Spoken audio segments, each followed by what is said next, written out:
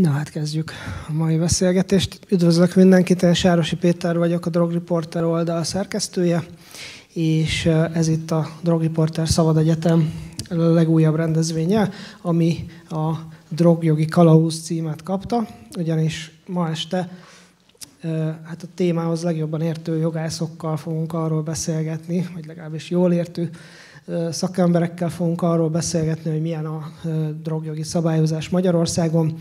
Üdvözlök mindenkit, aki eljött személyesen, illetve azokat is, akik néznek minket online. Bemutatom a vendégeinket. Dr. Ignác György, aki a Fővárosi Törvényszék büntetőbírója, és dr. Fazekas Tamás, ügyvéd, büntetőügyvéd, aki hát a Helsinki Bizottságnál jogvédőként is ismeretes, és, és hát gondolom magánpraxisban is mm, elég sok kábítószeres ügyet. Először egy picit talán szeretnék többet megtudni rólatok, hogy hogyan lesz az, hogy mondjuk például egy bíró, egy büntetőbíró, az, az ennyire mondjuk hát kábítószeres ügyekkel kezd el mondjuk foglalni, tehát ezt mondjuk foglalkozni, tehát mondjuk ezt így felülről ráosztják egy bíróra, és akkor utána ennek a témának a szakértőjévé válik, vagy ez egy ilyen személyes érdeklődés volt a részedről? Hát teljesen véletlenszerűen lesz ez így. Tehát egy bíró soha nem szólhat bele abba, hogy milyen ügyeket tárgyal.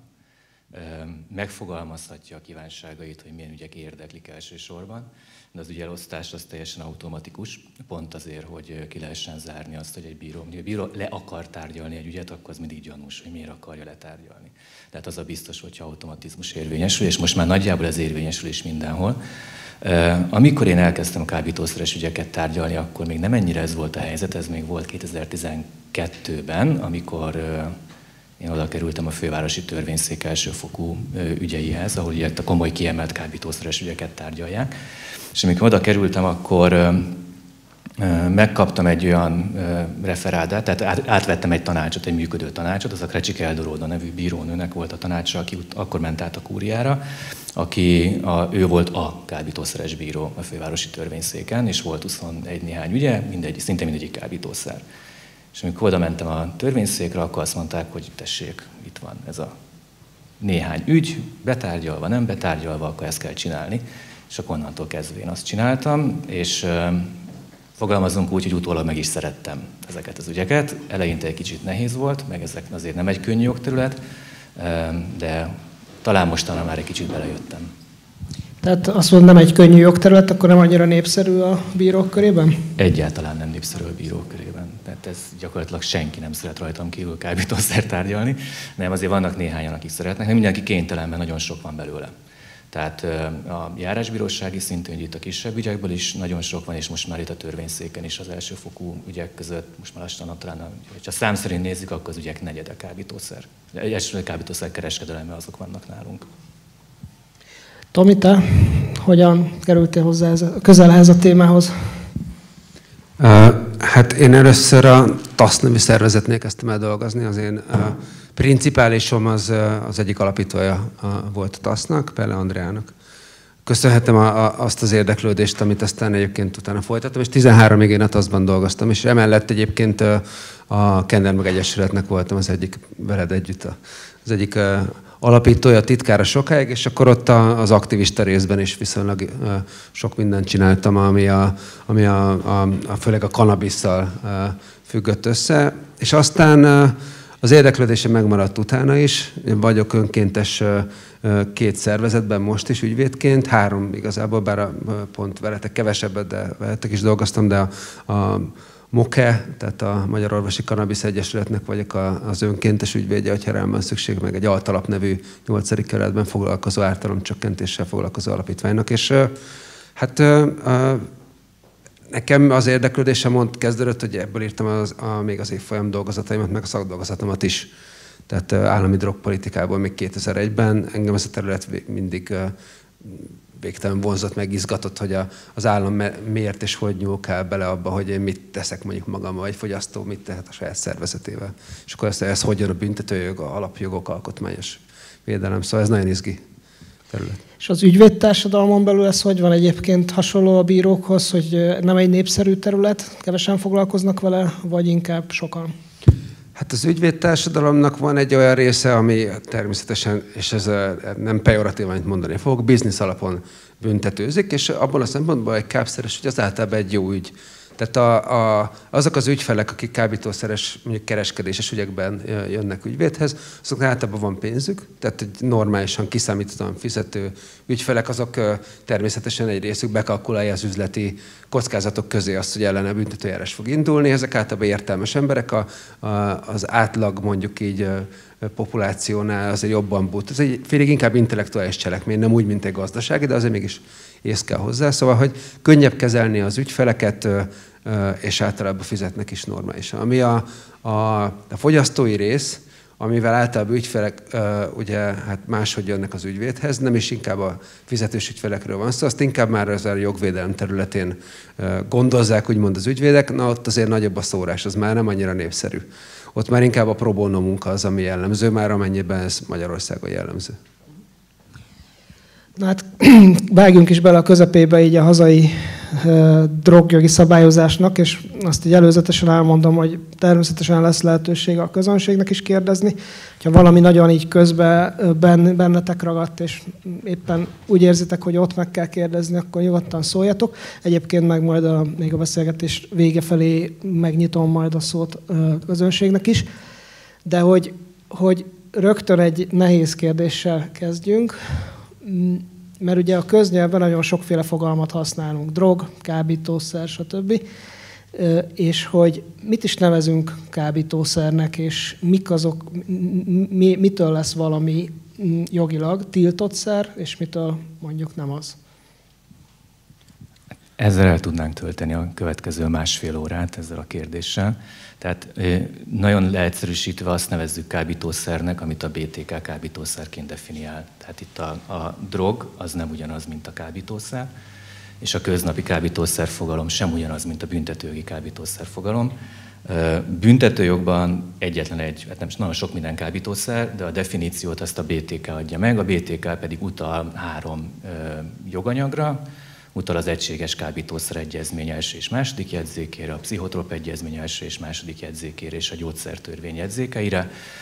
Ezek a jegyzékek, ezek három különböző törvényben kihirdetett listák, és ezeken a listákon, ami anyag szerepel, az kábítószer. Semmi más nem lehet kábítószer, legalábbis büntetőjogi szempontból nem.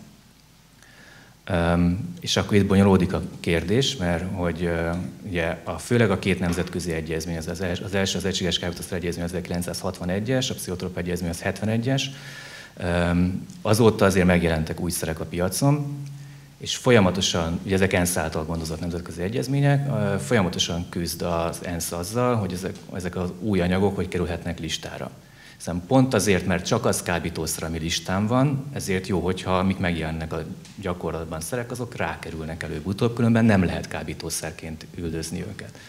Csak hogy nem lehet egy ilyen nemzetközi egyezményt olyan egyszerűen módosítani, ezért az utóbbi, most már lassan egy évtizedben nagyon gyakran, biztosan minden éven márciusban ülésezik a, a kábítószerügyi bizottság, az a Commission on Narcotic Drugs, a CND, és minden márciusban dönt arról, hogy milyen új szereket vesznek listára. Ezzel születik egy határozat, ez ilyen, tudom, ilyen 5 és 10 közötti számban kerülnek listára a szerek, és a probléma az, hogy ugye ezek után nem jelennek meg a listákon, ami egy nagyon érdekes jogi helyzetet eredményez. És akkor vannak az új pszichaktív anyagok. Tehát ugye a rendszer azért nem igazán jó, mert csak az, csak az a vegyület lehet kábítószer, ami rajta van a listán. Hogyha valami hasonlít rá, de nem ugyanaz, az nem kábítószer. Ugye ezek most már designer drog néven futnak, most már több mint egy évtizede, ahogy ezek megjelentek, nem csak megjelentek, berobbantak itt a, a piacra az egész világon. Pont ezt használják ki, hogy, hogy megváltoztatnak egy valamit abba a molekula szerkezetbe, az már nem az a molekula, az már nem kábítószer, Viszont mivel a nemzetközi egyezményeket nem lehet olyan könnyedén módosítani, ezért vezették be az új pszichoaktív anyag kategóriáját, ami a magyar BTK-ban is megjelent, meg az egész EU-ban, ami ugyan nem kábítószer, de azért drogok. Más, kicsit más a szabályozás, nagyon picit, pont annyira, hogy össze lehessen keverni. és máshol vannak ezek a, a vegyületek leszabályozva, egész konkrétan egy emmi rendeletben van, mellékletében vannak benne, félig listán, félig körülírva. Úgyhogy ember legyen a talpán, aki ebben kiigazodik. Tomihez hozzáteszel valamit, vagy? Hát, úgy nagyon sok minden szerintem nincs mit hozzátenni. Igazából, amit a, a György mondott, annak a lényege az, az én interpretációban az, hogy fut a szabályozása a való élet után, és ez egy olyan verseny, ami soha nem fog megnyerni. Szerintem, de ez, ez a patetikusabb része. Ez. Most ugye szóba kerültek már ezek az bizonyos új pszichoaktív anyagok, amiket ugye designer drog néven is szokta, szokott a sajtó emlegetni, de hogy talán, hogyha kezdjük egy picit ö, hamarabbról is, hogy, hogy mennyire látjátok ezt egy ilyen racionális és indokolt rendszernek, hogy vannak olyan szerek, amelyek ö, felkerültek erre a kábítószerlistára, mint mondjuk a kanabisz, kokain, heroin, de vannak olyan szerek, amik hát élettani hatásukat tekintve szintén drognak minősülnek, mint az alkohol, nikotin, stb. És ezek pedig nem kerültek fel a kábítószer egyezmény, vagy a kábítószer egyezmények listáira, sem pedig Magyarországon a BTK jegyzékeire. Én szerintem egy kicsit szabadabban tudok majd fogalmazni, mint a, mint a György. Szóval, hogy én ezt nem tartom racionális minden szempontból racionális rendszernek. Értem a belső logikáját, de ez a logika, ez, a, ez inkább már a, a csak a 20. század második felének logikája, ami már elmúlt. Tehát, hogy ott volt egy olyan drogánás háború, ami ugye nagyon sokan tudjuk a, a, a keretét, hogy ez hogy alakult ki, és annak az ideológiát, ideológiáját támogatták ezek a nemzetközi rendszerek, egyezményrendszerek annak idején. És hogy a status quo valahogy úgy szilárdult meg, hogy ez az alap logikához, hogy tehát hogy a, a kábítószer vagy a drognak a kábítószerek tartozó csoportja az rossz, azt üldözni kell, azt büntetni kell, azt, be kell zárni itt embereket. Szóval ez az alap logika, ez, ez ugyanaz, mint ami a 60-as, 70-es években tulajdonképpen kialakult a hidegháborúnak ebben a szakaszában. Most van, vagy van, vagy lehet elmozdulás talán az utóbbi egy vagy két, maximum két évtizedben vannak olyan mozgások, amik ettől eltérnek. Sokkal inkább kezd előbb térbe kerülni az, hogy a, az olyan egészségügyi vagy más természettudományos vonatkozásokat is figyelembe vegye a szabályozás. Ami adott esetben például a, a, az anyagoknak, a, vagy a növényeknek az orvosi felhasználása miatt a listákon való hátrány sorolását eredményezi. Szóval, hogy vannak ilyen mozgások, és ez kezd átszivárogni egyébként a, a nemzetközi szervezetek felé, de még egyelőre ez a rossz logika működik a tiltásra, és nem pedig a, a, a tudományos konszenzusra, a természettudományosan megalapozott evidence-based kutatásokra épülő szabályozás van most. Szerintem ez nagyon problematikus. Hát én egyáltalán nem nyilatkoztam szabadon erről, tehát bíróként lettem meghívva erre a rendezvényre, úgyhogy bíróként én csak annyit tudok mondani, hogy egy számomra ez egy adottság, hogy ezek a szerek ezek büntetendőek, azról meg lehet a magánvéleményem, hogy a többi miért nem, vagy miért kéne, hogy igen, meg mi, minden, minden legyen büntetendő, de bíróként a magyar állam büntető politikáját, mert ez egy büntető politikai kérdés, azt én nem kommentálhatom nyilvánosan. Amit megtehetek, az az, hogy kicsit felidézzük a 2004-es határozatát az Alkotmánybíróságnak, amely foglalkozik ezzel a kérdéssel, és ugye az Alkotmánybíróság határozat alkotmányjogi érvelésével talán foglalkozhatom bíróként is. Öm, öm, tehát azt azért, hogyha valaki elolvassa ezt, az 54 per 2004-es Alkotmánybírósági határozat, hogyha ezt valaki elolvassa, akkor azért nem nagyon tudja kiolvasni, hogy mi a válasz erre a kérdésre az Alkotmánybíróság meglátása szerint mert az Alkotmánybíróság igazából csak annyit mondott akkor, hogy a nikotin, koffein, alkohol, ennek a fogyaszt, ezek szerek fogyasztásának megvan a kultúrája. Magyarországon is évszázados kultúrája van. Jól pontosan úgy fogalmaz, hogy ezekkel megtanultunk együtt Meg, élni. Igen, azt valahogy így fog, rég olvastam már sajnos. Tehát ezekkel megtanultunk együtt élni. Ugye érdemes azért feltenni azt a kérdést, hogy adtunk esélyt minden másnak is, hogy megtanuljunk vele együtt élni. Ez egy ilyen költői kérdés most a részemről, ezen szerintem érdemes elgondolkodni, hogyha ez a logika, ami a büntetendőségét ezeknek a szereknek megalapozza, és amivel védhető az, hogy más az meg nem ennyire büntetendő.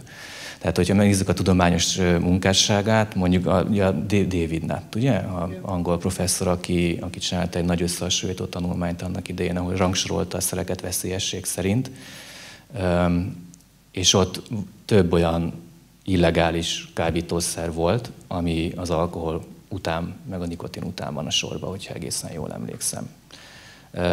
Ezek kérdések, amikkel azt gondolom, hogy előbb-utóbb a jogalkotásnak is foglalkoznia kell. Mert azért azt nyugodtan mondhatom, hogy igény az lenne rá, hogy nem, nem minden legyen büntetendő. Egyébként egy bíró az mennyire vizsgálhatja azt, hogy az adott cselekedet mennyire veszélyes a társadalomra? Hát én azt nagyon vizsgálhatom, mert ugye csak az bűncselekmény, ami veszélyes a társadalomra, és ugye egy, az, hogy egy adott cselekmény veszélyes a társadalomra, ezt a jogalkotó egyrészt értékeli azzal, hogy a külön BTK különös részében ez bűncselekményként definiálja, de az, hogy a konkrét cselekmény mennyire veszélyes a társadalomra, az az én dolgom eldönteni. Szélsőséges esetben mondhatom azt, ez az eléggé ritka, hogy nem veszélyes a társadalomra, éppen ezért nem is bűncselekmény, de hogyha eddig nem is jutunk el, azt, hogy a konkrét cselekmény társadalmi veszélyessége milyen fokú, hogy az adott cselekményt elkövető, ugye nekem vádlott felelőssége milyen fokú, az ő személyében rejlő társadalmi veszélyesség milyen fokú, ezt nekem a büntetés kiszabása során értékelnem kell. És ott lehet ezeket úgy értékelni, hogy az ember lelki ismerete megnyugodjon. Tehát, ha jól értem, akkor elvileg attól függetlenül, hogy valamit szankcionál a BTK, a bíró dönthet úgy, hogy az a cselekedet nem volt veszélyes a társadalomra, vagy, vagy, vagy tehát van egy egyfajta ilyen diszkrecionális... A diszkrecionális jogkör az a büntetés kiszabásában jelentkezik, tehát mondjuk, hogyha beszéljünk akkor a kábítószernek a fogyasztásáról, ami a törvénybe az van írva, hogy két évig terjedő szabadságvesztéssel büntetendő. Ezt mindig úgy kell érteni, hogy két évig terjedő szabadságvesztés, meg pénzbüntetés, közérdekű munka, és lehet intézkedéseket alkalmazni, kettő ilyen szóba, a próbára bocsátás, meg a megrovás. Ugye a megrovásnál enyhébb szankció nincsen a BTK-ban. És akkor nekem el kell döntenem, hogy ez a fogyasztó, aki ugye ebbe a kategóriába csak az esik bele, aki csekély mennyiséget fogyasztott, és az tényleg elég csekély, amúgy van, ja, megnézzük a határokat, amit meghúz a törvény, hogy akkor ő most konkrétan így megfogták a 19 éves gyereket egy darab füves cigivel a zsebében, amiben volt 0,4 g ezt így szokták írni a rendőrök mindig, hogy zöld növényi törmelék, és abból kimutatta a vegyész szakértő nagyon sok pénzért, hogy abban volt delta 9 THC, és akkor erre most elkövetett egy kábítószer birtoklása védségét, két évig terjedő szabadságvesztéssel büntetendő. Na most ugye ennek a cselekménynek a konkrét társadalom a veszélyességét, tehát nehezen tudnék én magam is érvelni maga amellett, hogy nagyon komoly lenne.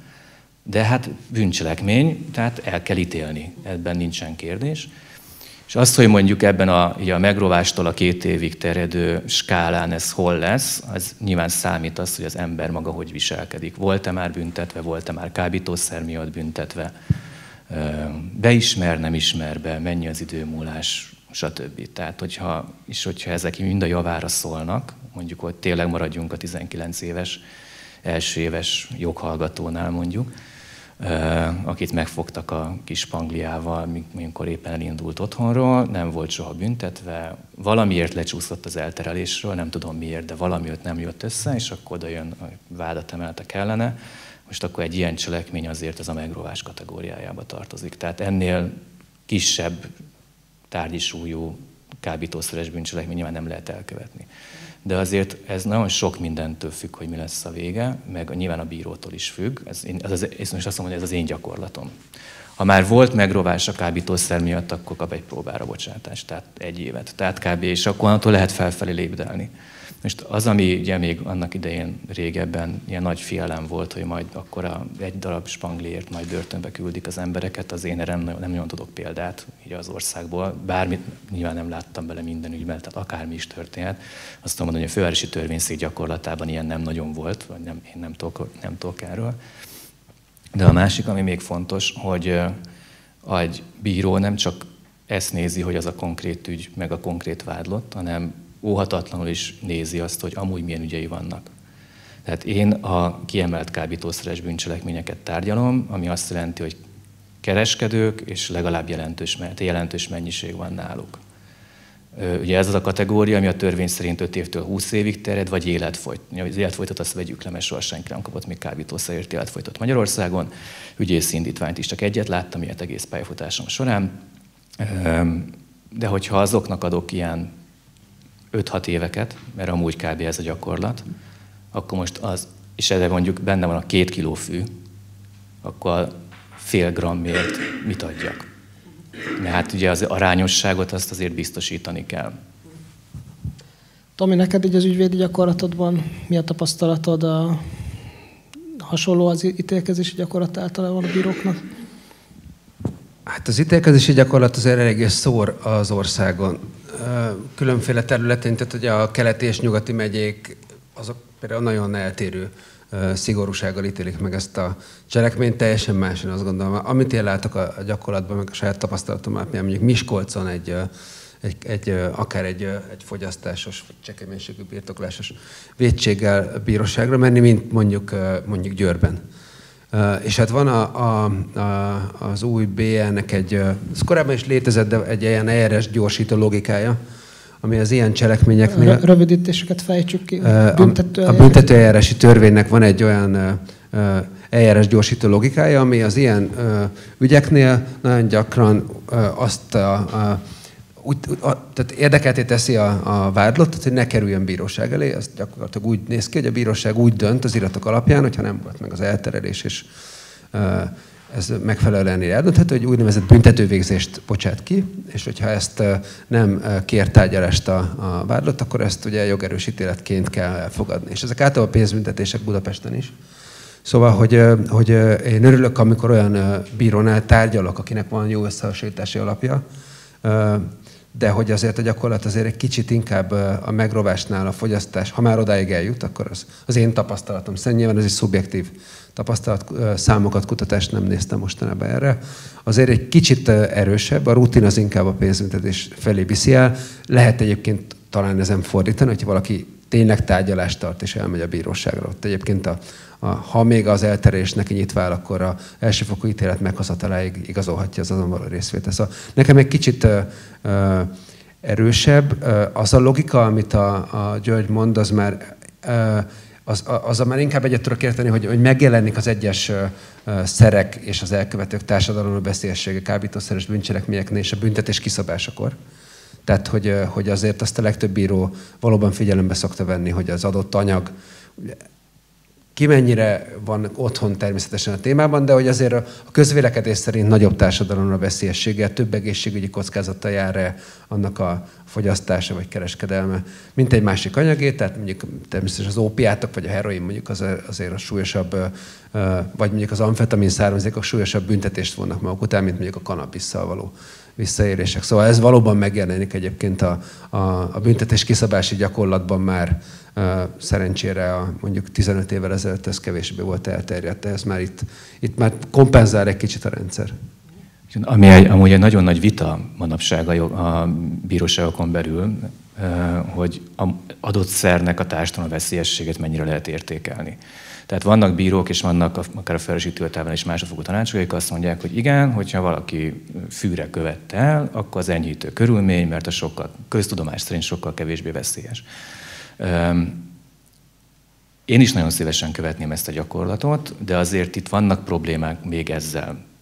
Az egyik probléma az, hogyha elkezdünk ebből tanulmányokat olvasni, nem magyar nyelvű tanulmányokat, mert Magyarországon valamiért erről nincsenek, akkor azért azt fog ebből kijönni, hogy ez a könnyű kemény drog megkülönböztetésnek a tudományos megalapozása azért legalábbis ingatag. Tehát, hogy így nem azt mondom, hogy ahány kutató annyiféleképpen osztályoz, de kb. az egyetlen, amiben konszenzus van, hogy akkor a, a kannabis származékot besorolhatjuk a könnyű drog kategóriájába. De van olyan, aki azt mondja, az MDMA is belefér a könnyű sőt, olyat is olvastam, az amfetamin is belefér a könnyű. Tehát ezek a, ugye a bíróként nekem lehet személyes véleményem, de az ítélkezésemet azt kizárólag tudományos tényekre alapíthatom egy ilyen kérdésben. Ez az egyik probléma. A másik, hogy, a, hogy mire szabályoz a törvény. Tehát, hogy, ahhoz, hogy most az enyhítő vagy súlyosító körülmény nincsen hatásra, ez nekem ezt el kell döntenem, hogy amikor azt mondja a jogalkotó, hogy ez a kábítószer birtoklása az kettő évig terjedő szabadság büntetendő, akkor milyen kábítószerre gondol? hogy ezzel azt mondja, hogy miután a marihuána a leggyakoribb Magyarországon, azért rágondoltam alapvetően, tehát ez az az, az abstrakció, amit én megpróbáltam megfogalmazni. Hogyha ezt elfogadjuk, akkor azt kell mondanunk, hogy az az alap, hogy marihuánára van elkövetve, tehát az, hogy erre követték, ennek nincsen hatása. De akkor nyilván a következő oldalon azt kell mondanunk, hogy ha viszont heroinra követtel, akkor viszont súlyosító körülmény. Tehát, hogy meg kéne tudnunk, hogy mi, a, mi az a tipikus eset, amire leszabályozta ezt a jogalkotó, de ugye a jogalkotó az nagyon következetesen nem árulja el, hogy mi a véleménye a könnyű és kemény drogokról, mert ez a magyar jogrendszerben, mint hogyha ez, a, ez nem létezne. Nem létezne ez a kategória, nem is létezik ez a kategória. És a másik, hogy ha kinyitjuk ezt az ajtót, akkor ott fogjuk találni magunkat, hogy jó, hát ezt én értem, hogy a, a cannabis származékra elkövetés az egy nyomatékos enyhítő körülmény, de akkor itt van ez az extázi tabletta, amire az én védencem elkövette a bűncselekményt. Én ezt értem, hogy nem annyira enyhít, mert azért mégis egy kicsit veszélyesebb, de hát azért tudjuk, hogy nem olyan, mint a heroin. Akkor ez is legyen enyhítő körülmény, csak ne akkor a nyomatékkal. És akkor abban a helyzetben lavírozza magát a bíróság, hogy nekünk kell sorrendet felállítani, hogy mit milyen súlyjal értékelünk. Tehát ki lehet nyitni ezt a kaput, csak mögötte nem tudom, hogy mi van. És ezt nyilván amúgy ez egy kezelhető dolog. Tehát ezt tudományos igényel fel lehet dolgozni ezt a problémát, és lehet javaslatokat megfogalmazni, erre szerintem minden bíró nyitott, aki ilyen kérdésekkel foglalkozik. Nagyon rövid közvetés, hogy nyilván itt most nem fogunk kategóriákat kitalálni, persze azt mindannyian tudjuk, hogy az ENSZ az dolgozik ilyen kategóriákkal, ez egyezmények, és dolgoznak ilyen kategóriákat. De én azt gondolom erről tényleg röviden, hogy tudjunk haladni a következő kérdésre, hogy hogy hát a kúria ad, ad abszurdum ezt megoldhatná egyébként egy, egy jogegységi döntéssel például. Tehát a, akár elemezve, a, a, a, felállítva külön egy munkacsoportot a, ebből a specifikus szempontból, ebből a különleges szempontból, hogy milyen a büntetés kiszabási gyakorlat, megnézni, hozzávenni a társ tudományoknak az eredményét, és akkor adhatna a, a bírók számára egy, egy, egy szempontrendszert, hogy ne nekik kell csak kizárólag dönteni. Az egy, persze a munka szépségéhez tartozik, de hogy a kuria az itt tudna lépni ebben. Ez még bele, benne lenne a, a, a bíróságok mozgásterén, de a, a kuria nem dönt ebben, nem lép. Na most ugye lehet, hogy nem mindenkinek világos, ugye a, aki nem ismeri annyira a hazai ö, ö, szabályozást, hogy míg mondjuk Nagy-Britanniában vannak különféle osztályai, veszélyesség szerinti osztályai a kábítószereknek, például ott Angliában az van, hogy A, B, C, és akkor az A az a legveszélyesebb, a C a legkevésbé veszélyesebb. Ugye Magyarországon ilyen nincsen, tehát nincsenek ilyen fajta veszélyességi kategóriák, tehát cannabis, heroin, az gyakorlatilag ugyanaz a kábítószer, és akkor ugye a bírói gyakorlatban kellene ezt valahogyan hát differenciálni. Most csak ilyen praktikus szempontból egyébként mit gondoltak, hogy, hogyha, egy, hogyha, hogyha lennének ilyen kategóriák a magyar törvényben, az, az könnyebbé tenni a munkátokat? Biztosan igen. Tehát minden könnyebbé teszi a bíró munkáját, ami egyértelműsít egy vitás helyzetet. Tehát azért azt látni kell a bírói munkáról, ami, ami így így kívülről nem biztos, hogy mindenki számára egyértelmű. Tehát, hogy a bírói függetlenségből következik a jogértelmezés szabadsága. Tehát nagyon-nagyon szigorúan meg van húzva az a határ, ami, ahol egy bíró munkába bele lehet szólni. A jogalkotó beleszólhat a törvényeken, meg a jogszabályokon keresztül. De felsőbb bíróság nem szólhat bele abba, hogy én egy konkrét ügyön mit fogok dönteni. Utólag fellebezés folytán a törvényes rendben mondhatja azt, hogy nem így kellett volna dönteni. De hogyha én ragaszkodom ahhoz, hogy nekem van igazam, akkor lehet, hogy én azt fogom mondani, hogy pedig én következetesen így fog dönteni. Nem érdekel, hogyha minden ügyemben megváltoztatja a másodfok. Ezt egy lehet csinálni. Tehát vannak olyan jogértelmezési kérdések, ahol mondjuk hajlandó vagyok egy ilyen harcot vállalni, hogy bízva benne, hogy évek kemény munkai után megváltoztat a gyakorlat. Volt már, ahol ilyen, ilyen nagyon részsikereket elértem. De van, amire azt mondom, hogy oké, okay, akkor elfogadom, hogy ez a gyakorlat. Tehát, és akinek ez nagyon rossz amúgy, hogyha ilyen szinten széttart a gyakorlat, mert minden bíró azt mondja, hogy majd én eldöntöm. Egy erre vagyunk mi szocializálva, hogy én eldöntöm, senki nem szól bele. Az hát a jogkereső közönség, aki meg azt látja, hogy széttart a gyakorlat, és nincs senki, aki rendet rakna ebbe. Tehát ugye ez a szépség ennek, hogy ebben nem lehet hatalmi szóval rendet rakni. Tehát vagy a jogalkotó lép egyet, és azt mondja, hogy oké, okay, akkor már pedig ezt csináljuk, és leírja egy törvényben, vagy a, ugye nálunk a kúria egy jogegységi határozatban ezt megteheti, vagy most már egyedi ügyekben hozott döntésekkel megteheti. Viszont pont büntetéskiszabási témában nagyon csekély a mozgástere a kúriának. Büntetőügyekben gyakorlatilag hát nem szólhat bele büntetéskiszabásba, hogyha az törvényes keretek között van, akkor egyszerűen hozzá se szólhat felülvizsgálati eljárásba. Tehát megpróbálok visszakanyarodni a kérdésedhez. Igen, ezek mindig segítenének, de hát itt a jogalkotónak kell lépnie. Most már említettétek mind a ketten a designer drogokat, új pszichoaktív anyagokat és ezeknek a szabályozását.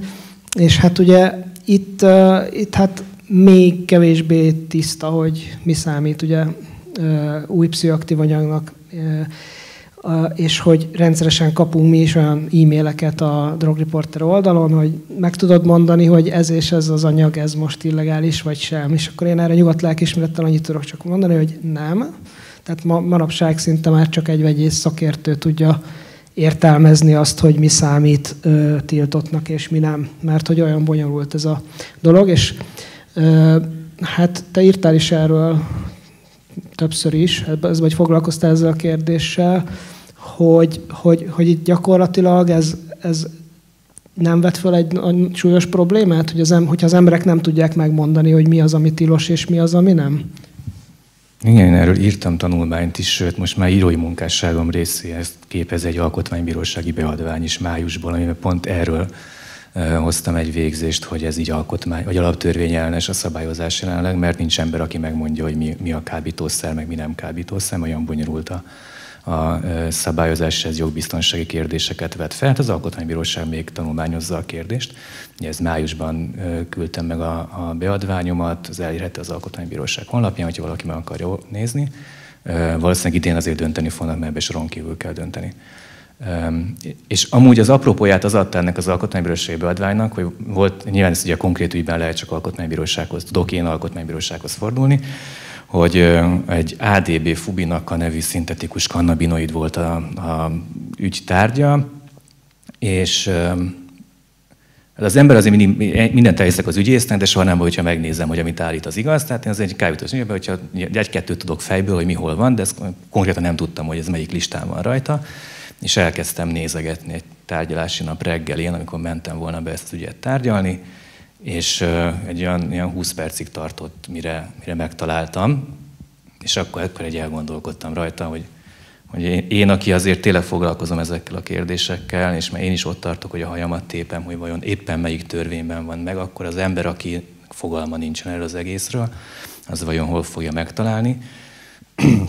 Ezt pont nem találta meg egyik jegyzéken, nem találta meg egyik jegyzéken sem amúgy. Tehát ez rajta volt a gyógyszertörvény jegyzéken, onnan levették, és most elvileg a CND egyik döntésének folytán nem valamelyik egyezménynek a jegyzékén van rajta, de nincs átvezetve a listákon. Tehát ez csak egy, ezt a döntést kihirdető törvényből derül ki, azt, hogy egyáltalán tudja bárki is, hogy vannak ilyen törvények, ehhez már eleve ismerni kell az egész nemzetközi ellenőrzési rendszert, mert anélkül ez nem fog menni.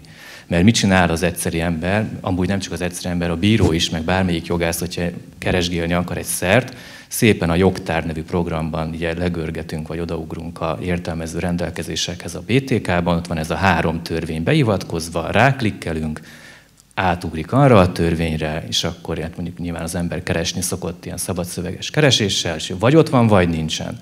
De a logikája az egésznek az, hogy ha ott nincsen, akkor az nem kábítószer. Na most azt, hogy amúgy van még hét másik törvény, ahol még amúgy vannak anyagok, körülbelül összesen egy olyan 40-45, aminek elvileg rajta kéne lenni ezen a listán, de nincsen rajta, mert nem vezettük át, tehát ez így nyilván ez nem működhet. A másik pedig az új pszichoaktív anyagoknál, ugye ott a büntető törvénykönyv utal a gyógyszertörvényre, a gyógyszertörvény tovább utal egy emmi rendeletre, és az emmi rendelet mellékletéből kéne kikurkászni, hogy mi számít új pszichoaktív anyagnak, meg mi nem. És ott, ahogy a legelején mondtam, ott van egy olyan rész, ami nem egy lista, hanem ez a generikus szabályozás nevű jogalkotási megoldás, ahol le, egy vegyületek, vegyületcsoportok leírása található. Azt az egyes pontban vannak talán a szintetikus kannabinoidok, vagy nem tudom már, hogy milyen, van négy ilyen pont. és szakértői kérdés, hogy az adott szer valamelyik pont alá mehet, vagy nem mehet. Tehát ilyenkor azért felmerül a kérdés, hogy mit várunk el az egyszeri állampolgártól, aki amúgy adott esetben kíváncsi arra, hogy az a szer, amit ő megkapott a haverjától, az minek minősül, hogyha a hatósági eljárásban, a büntető eljárásban különleges, különleges szakértelmet igénylő szakkérdés, hogy ezt eldöntsük, és én se dönthetem el, mert különleges szakértelmet igényel, hanem ki kell rendelni egy vegyész szakértőt, és a vegyész szakértő majd szakértő véleményben leírja. Hát igen. Ezért fordultam alkotmánybírósághoz, hogy kíváncsian várom az eredményét. Tomi, neked az ügyeidben előfordul ilyen, hogy nem tiszta, hogy egy adott szer minek minősül? Hát nagyon kevésszer tiszta, hogyha új pszichotróp anyagról van szó. Tehát, hogy igazából ennyit tudok hozzátenni. Ez, ez, ez, ez, amit a György elmondott, a norma világosság alapvető követelményei nyilván sértő szabályozás, az, az, vagy legalábbis kéréseket felvető szabályozás azért még azt is jelenti, hogy tulajdonképpen az egyik legfontosabb ilyen alapjogi szabály vagy norma az az, hogy, hogy a, az alapvető állampolgári jogokat, az nem csak elis, előre megismerhető módon, de főleg, hogyha büntetőjogi vonatkozása van, akkor törvényben élik szabályozni, vagy kell szabályozni. Na most itt egy, egy, egy, egy miniszteri rendelet mellékletében meghatározott generikumnak, a szakértői vizsgálatának lesz majd az eredménye, hogy mi az, ami aztán egy büntetőjogi magatartást tud megvalósítani. Na most az eleve felveti a jogforrási kérdéseket is, hogy ez, ez, ez megfelelő-e ez a szabályozási forrás. De visszatérve a kérdésedre, általában az hát csak a büntetőjárásban derül ki. Kivéve, hogyha valami nagyon világos eset, hát akkor se tudja maga a fogyasztó, hogy, hogy mi az, amiben belefut. Tehát addig, amíg el nem indul egy büntetőjárás, nincs gyanúsítás, nincsenek szakértők kirendelve, addig új pszichotrop igazából hát talán a dílereken kívül senkinek fogalma nincs, hogy mi lesz az, ami az eljárásba fölbukkan. Itt az említett tanulmányodban az, az is tetszett, hogy hivatkoztál a Alkotmánybíróságnak a döntésére, ami egy más ügyben, de hogy ezt ki magamnak, meg is állapította, hogy a jog megismerhetőségét kizárja, ha az egyes törvényi tényállásokkal összefüggő szabályok, bocsánat, a jogi nyelvezetért, de majd kifejtjük, a jogrendszerben szétszórva más magatartásokra vonatkozó szabályozási területekkel oly mértékig keveredve lelhetők csak fel, hogy a norma, normatartalom megállapítása a jogi rendszert kezelni tudó szűk kisebbség részére is végletekig bonyolultá, mindenki más számára pedig elérhetetlenné válik. Tehát, hogy igazából hogy maga az alkotmánybíróság mondta ki, mert hogy ez, ez teljesen vonatkoztatható erre a helyzetre, hogy a designers drogok gyakorlatilag nem. Tehát itt teljesen homályos a norma, nincs világos norma. Igen, amúgy ez a 2004-es droghatározatból van ez az idézet. Amikor már egyszer alkotmányosnak nyilvánította az alkotmánybíróság egy hasonló megoldást, amikor nem volt pontosan leszabályozva, hogy a kábítószerlisták azok hogy kerülnek be a büntetőjog hatája alá. És igen, én azért szeretem magamról azt hinni, hogy én a jogi rendszert kezelni tudó szűk kisebbségbe tartozom, ami büntetőbíróként, de én is úgy érzem, hogy ez számomra is végletekig bonyolultá vált most már. Az, nyilván azt el képzelni, hogy egy átlag ember ezt az egészet hogy tudja kezelni, tehát ez, ez szinte lehetetlen. Na akkor picit beszéljünk az elterelésről is, hogy lépjünk egy lépéssel vissza. Ugye, hogyha van egy fogyasztónk, akit ugye elkaptak mondjuk csekély mennyiségű kábítószerrel, mondjuk egy fél gram, egy gram fűvel, akkor ugye normál esetben választhatja az elterelést. Mi az az elterelés, és, és hogyan változott ennek a szabályozása így az elmúlt években? Az elterelés tulajdonképpen a, a jogalkotó egy olyan válasz arra a társadalmi igényre, hogy azért nem mindenkit csukjunk börtönbe, ami egy ilyen félutas megoldás. Az elterelés az mint olyan nem szerepel a büntetőjogi norma megnevezések közé, tehát nincs ilyen, hogy elterelés, hanem nem büntethető, az fogalmaz a büntető törvénykönyv, aki megfelel ezeknek a feltételeknek, ezt a ugye, szakemberek használják, találták ki. Ugye elterelés a büntetőjogi útról való elterelést jelenti, tehát gyakorlatilag, aki beismerő vallomást tesz a kábítószer egyszerűsítek fogyasztásával kapcsolatban, akkor, és vállalja ezen az elterésen való részvételt, akkor a jelenlegi eljárási törvény úgynevezett feltételes ügyészi felfüggesztés formájában az eljárást ezt megállítja, és akkor ez a fogyasztó az esélyt kap arra, hogy egy éven belül egy fél éves vagy állapotának megfelelően valami megelőző, felvilágosító kezelésen, vagy gyógyító kezelésen részt vegyen. És akkor, hogyha ezt megcsinálja, papírt beadja, akkor megszüntetik a büntetőjárást. Magyarul van egy ilyen, mondjuk egy ilyen egyszerűbben fogalmazva egészségügyi kiskapu, amit a jogalkotó két évente egyszer lehet ilyet igénybe venni a fogyasztóknak, ad az állampolgároknak, ezért mégse csukjunk be mindenkit. Ugye azért azt lehet tudni, hogy a, a, ahogy erre utalt György is, hogy a legtöbb kábítószeres bűncselekményt az kannabiszra követik el, és hát itt nem hangzott el, de szerintem nagyjából köztudott is, hogy a tipikus fogyasztó az valahol 18 és 25 év közötti alkalmi fogyasztó. Hát most azért mégse cél, hogy évente több ezer embert becsukjuk, ezért adja a jogalkotó ezt az elterelést. Most a, az alapvető koncepció az mégis nem nagyon változott. Voltak olyan időszakok, és ezt ugye az Alkotmánybíróság is rövidre egy bizonyos tekintetben, amikor szélesebb körbe lehetett igénybe venni az elterelést. Tehát volt olyan időszak, amikor 21 évet még be nem töltött átadására is vonatkozott, hogyha ez 18 év alatti közös fogyasztás alkalmával kapta meg azt a csekély mennyiséget elnemérő kábítószert. Magyarul az elterelés még arra is vonatkozott, amikor az a... Bocsánat, magyarul ez, ez azt, azt a szituációt fette Körbeadják a füves cigarettát. Igen, igen, igen. Tehát ugye ez egy nagyon életszerű, szokásos helyzet, hogy közösen fogyasztanak a tipikusan mondjuk középiskolás, vagy mondjuk a 20 év körüli fiatalok. Ilyenkor átadást is megvalósítanak, nem csak ugye birtoklást, tartást és tovább fogyasztást, hanem egymásnak odaadják, és mivel, hogyha valaki már betöltötte a 18-at az osztályban, a másik meg még csak 17 éves, hát ugye akkor ugye fiatal korónak adát, és erre próbált valamit kitalálni az akkori jogalkotó, ezt megsemmisítette az alkotmánybíróság. De az alapkoncepció egyébként, és akkor ilyenkor erről hazudni szoktak a, a, természetesen a, a, a gyanúsítottak. Bocsánat, hogyha most akkor ugye, amióta az Alkotmánybíróság 2004-ben azt megsemmisítette, azóta, hogyha egy fiatal őszinte és elmondja, hogy ő átadta a közös fogyasztás során a, a, a spanglit, a cigit, akkor, akkor elvileg az már nem fogyasztói Nem, az nem, az nem elterelhető, igen. Ez csekeménységű, hát kereskedelmel besorolt átadásnak is.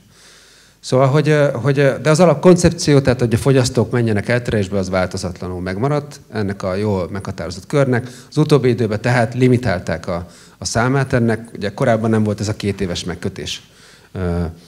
És hát gyakorlatilag ez, ugye van egy lista, ami az elérhető elterelőhelyek listáját jelenti. A lakóhely szerint illetékes elterelőhely az nem utasíthatja vissza az ellátást, tehát ott biztosítani kell az állapotnak megfelelő szolgáltatást.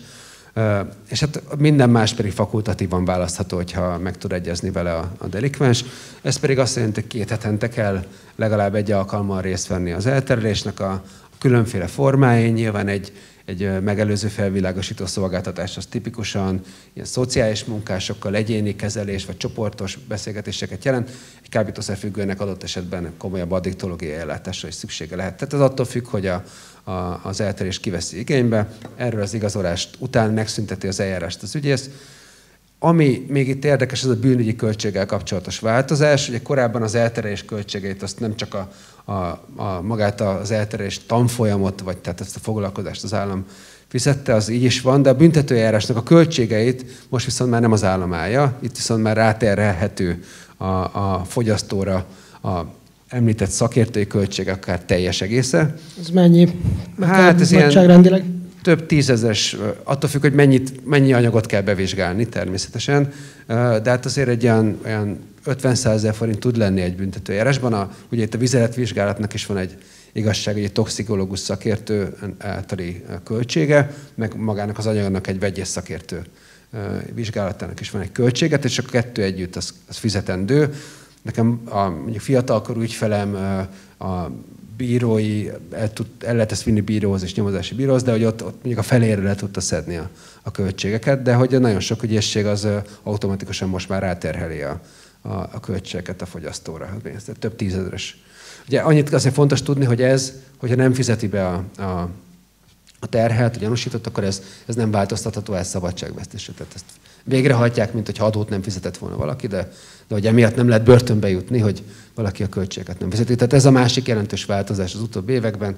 A kezdeti nagyon tág szabályozásról, amikor még a közös fogyasztást is ki lehetett kerülni, akkor még egyébként voltak legelején még ugye a kábítószer függőkre eltérő szabályok, de ebbe bele sem mennék, mert az már jogtörténeti érdekesség a, a C, C pontos elkövetési magatartások, de mindegy, szóval, hogy az a, azóta folyamatosan szűkült az igénybevető eltereléseknek a köre. Csak ehhez két dolgot hadd tegyek hozzá. Az egyik az, hogy hát fogalmazunk úgy, hogy az tűri a vitát, hogy miért van szükség a vegyész szakértő vizsgálatra, hogyha meg volt a toxikológia. Hogyha amúgy meg ugye kábítószer fogyaszt, tehát a hat bekezdéses birtoklásban vagyunk, akkor minek? Ez egy jó kérdés. Tehát De ez nyilván a, rendőr. A vizeletvizsgálat. Hát, hogyha a vizeletvizsgálat, ami amúgy olcsóbb, az mit azt hiszem, ilyen 40, ilyen 40 valahány ezer forint manapság egy ilyen vizeletvizsgálat, az kimutatja, hogy ő fogyasztott valamilyen kábítószert, és találtak is nála valamit, most mondjuk, hogyha THC-t maradványokat mutat ki, és füves cigit találnak nála, akkor azért felmerülhet a kérdés, hogy ezek után, amikor úgy is tudjuk, olyantól kezdve be fogja gyanúsítani kábítószer birtoklással, mert volt nála füves cigi, meg fogyasztott kannabis származékot, akkor mi szükség, és akkor el fogják terelni, akkor olyan mi szükség van arra, hogy még ilyen 70-80 ezer forintokért bevizsgáltassuk azt, amit találtak nála. Azon kívül, hogy így szoktuk, tehát azért ezt így érdemes szerintem ezt a kérdést feltenni. Vagy hát nem is, hogy érdemes, de lehet. Ráadásul ugye a laborok mindig arra panaszkodnak, hogy túl vannak terhelve. Igen, és akkor az ilyen kiemelt nagy, nagyobb ügyekben, amik meg ott vár a, a, ezer töves ültetvény, hogy valaki bevizsgálja végre. Ami lehet, hogy sürgősebb lenne egy kicsit. A másik pedig ez a közös fogyasztás. Tehát itt azért változik a gyakorlat, mármint azt nem tudom, hogy a rendőrségi az valószínűleg nem, de a bírósági igen. Tehát az, én már több ilyen határozattal találkoztam, nem mondom, hogy ez már egységes gyakorlat, de szerintem ebbe az irányba megyünk amelyik azt mondta, hogy a, a közös fogyasztás, akármit mondott az Alkotmánybíróság 2004-ben, az egy létező jelenség, az egy létező dolog, és ez igenis lefordítható a büntetőjog nyelvére is, és amikor valaki üldögét, mondjuk itt ilyen kör, hárman ülünk egy körben, és jár körbe a füves cigi, akkor szó nincsen semmilyen kereskedői magatartásról, mert ez a fogyasztási módja ennek a kábítószernek pont. Ezt így fogyasztja mindenki, és akkor mindenki egyenként fogyasztó ebben a körben, senki nem ad át senkinek semmit. Tehát azt nem tudom megmondani, hogy mennyire elterjedt ez a jogértelmezést. Én találkoztam már vele, és én a, ilyen, hát a, nyilván szoktam beszélgetni a kollégáimmal, Fogalmazom úgy, hogy nincs elzárkózva a jogértelmezéstől a bírói kar. Remélem, hogy elterjed. A másik kérdésem az az, amit Tomi, te említettél, hogy ugye két éven belül csak egyszer lehet az elterelést választani. Ez ugye 2012-es új BTK-ban került ez bele, hogy, hogy itt vannak-e olyan esetek, amikor emiatt valaki eljut a bíróságig, mert hogy már két éven belül többször is elkapták? most mind a kettőtöktől. Vannak. Van. Nekem is volt ilyen. Vannak, vannak. És uh, ugye azért uh, lehet azért uh, különféle megoldásokat találni abban az esetben, hogyha még az egyik eljárás nem zárták le, és a másik indul még a, a folyamatban lévő eljárás alatt. Akkor lehet az a, amellett érvelni, hogy a, ugye valakit elkapnak a fogyasztásért, és hát mondjuk tegyük a szívünkre a kezünket, szóval hogy 16 éves korban azért elő tud fordulni, hogy nem megy be az üzenet, hogy most nem kéne két hét múlva is a hétvégén szívni. Szóval, hogy el, elkövet még egy ilyen cselekményt, meg tetteni és vizet, ez egyértelmű, és akkor lehetséges amellett érvelni, hogy ez úgynevezett természetes egységként, tehát gyakorlatilag még egybe kezelhető legyen, és akkor két ügyet egybe egyesítetni. Van olyan kevésbé szőrös szívű ügyész, akinél ezt át lehet venni, és akkor ezt még egy elterelésbe lehet venni, de ez mondjuk ez még nem egy elterjedt megoldása lehet ennek az ügynek, és ezt nem is szeretném, hogyha bíróhoz kerülne. De volt ilyen, volt ilyen van erre példa, tehát ez lehetséges. Kicsit határeset, de értem a logikáját. Igen. Szóval, hogy, hogy, de egyébként meg szükségszerűen elő kell, elő, előfordul ez. Tehát, hogy a, a limitálás se véletlenül volt. Hát akkor is, amikor a jogalkotó megváltoztatta a korlátlan elterési lehetőséget, akkor is tudta, hogy, hogy, hogy, hogy van ilyen, hogy többször fordul elő ilyen. Most tegyük fel, ugye van az emberünk, aki 16 éves, szívott mondjuk a szilveszterkor elkapták, meg mondjuk májusban megint elkapták, már csinálja az elterést, és közben is elkapták, és megint csak egy mennyiségű, és akkor már nem választhatja az elterést, akkor eljut a bíróságig, és mondjuk ha ez elét kerül, akkor, akkor ilyenkor mi a... Ilyenkor lesz a megrovás belőle? Hát vagy mint, hogy megtudtuk másnál a pénzbüntetés, de igen, ez, hát akkor megnézzük, hogy tehát amit, amire elterelték, az, és hogyha sikeres volt az elterelés, akkor főleg ugye az egy büntetőséget megszüntető ok, tehát ott nem lehet büntetőgi felelősséget megállapítani. Az, büntet, hát az én szempontomból az olyan, mintha nem létezne. Tehát nekem bíróként csak olyan tények alapján tudok ítélkezni, amik így megállapítottak.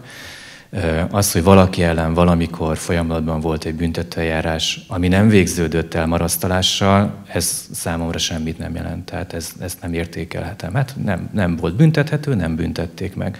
Ami viszont utána jött, és amire már nem lehetett elterelni, hát azt meg elkövettem. Tehát az meg egy ilyen dolog.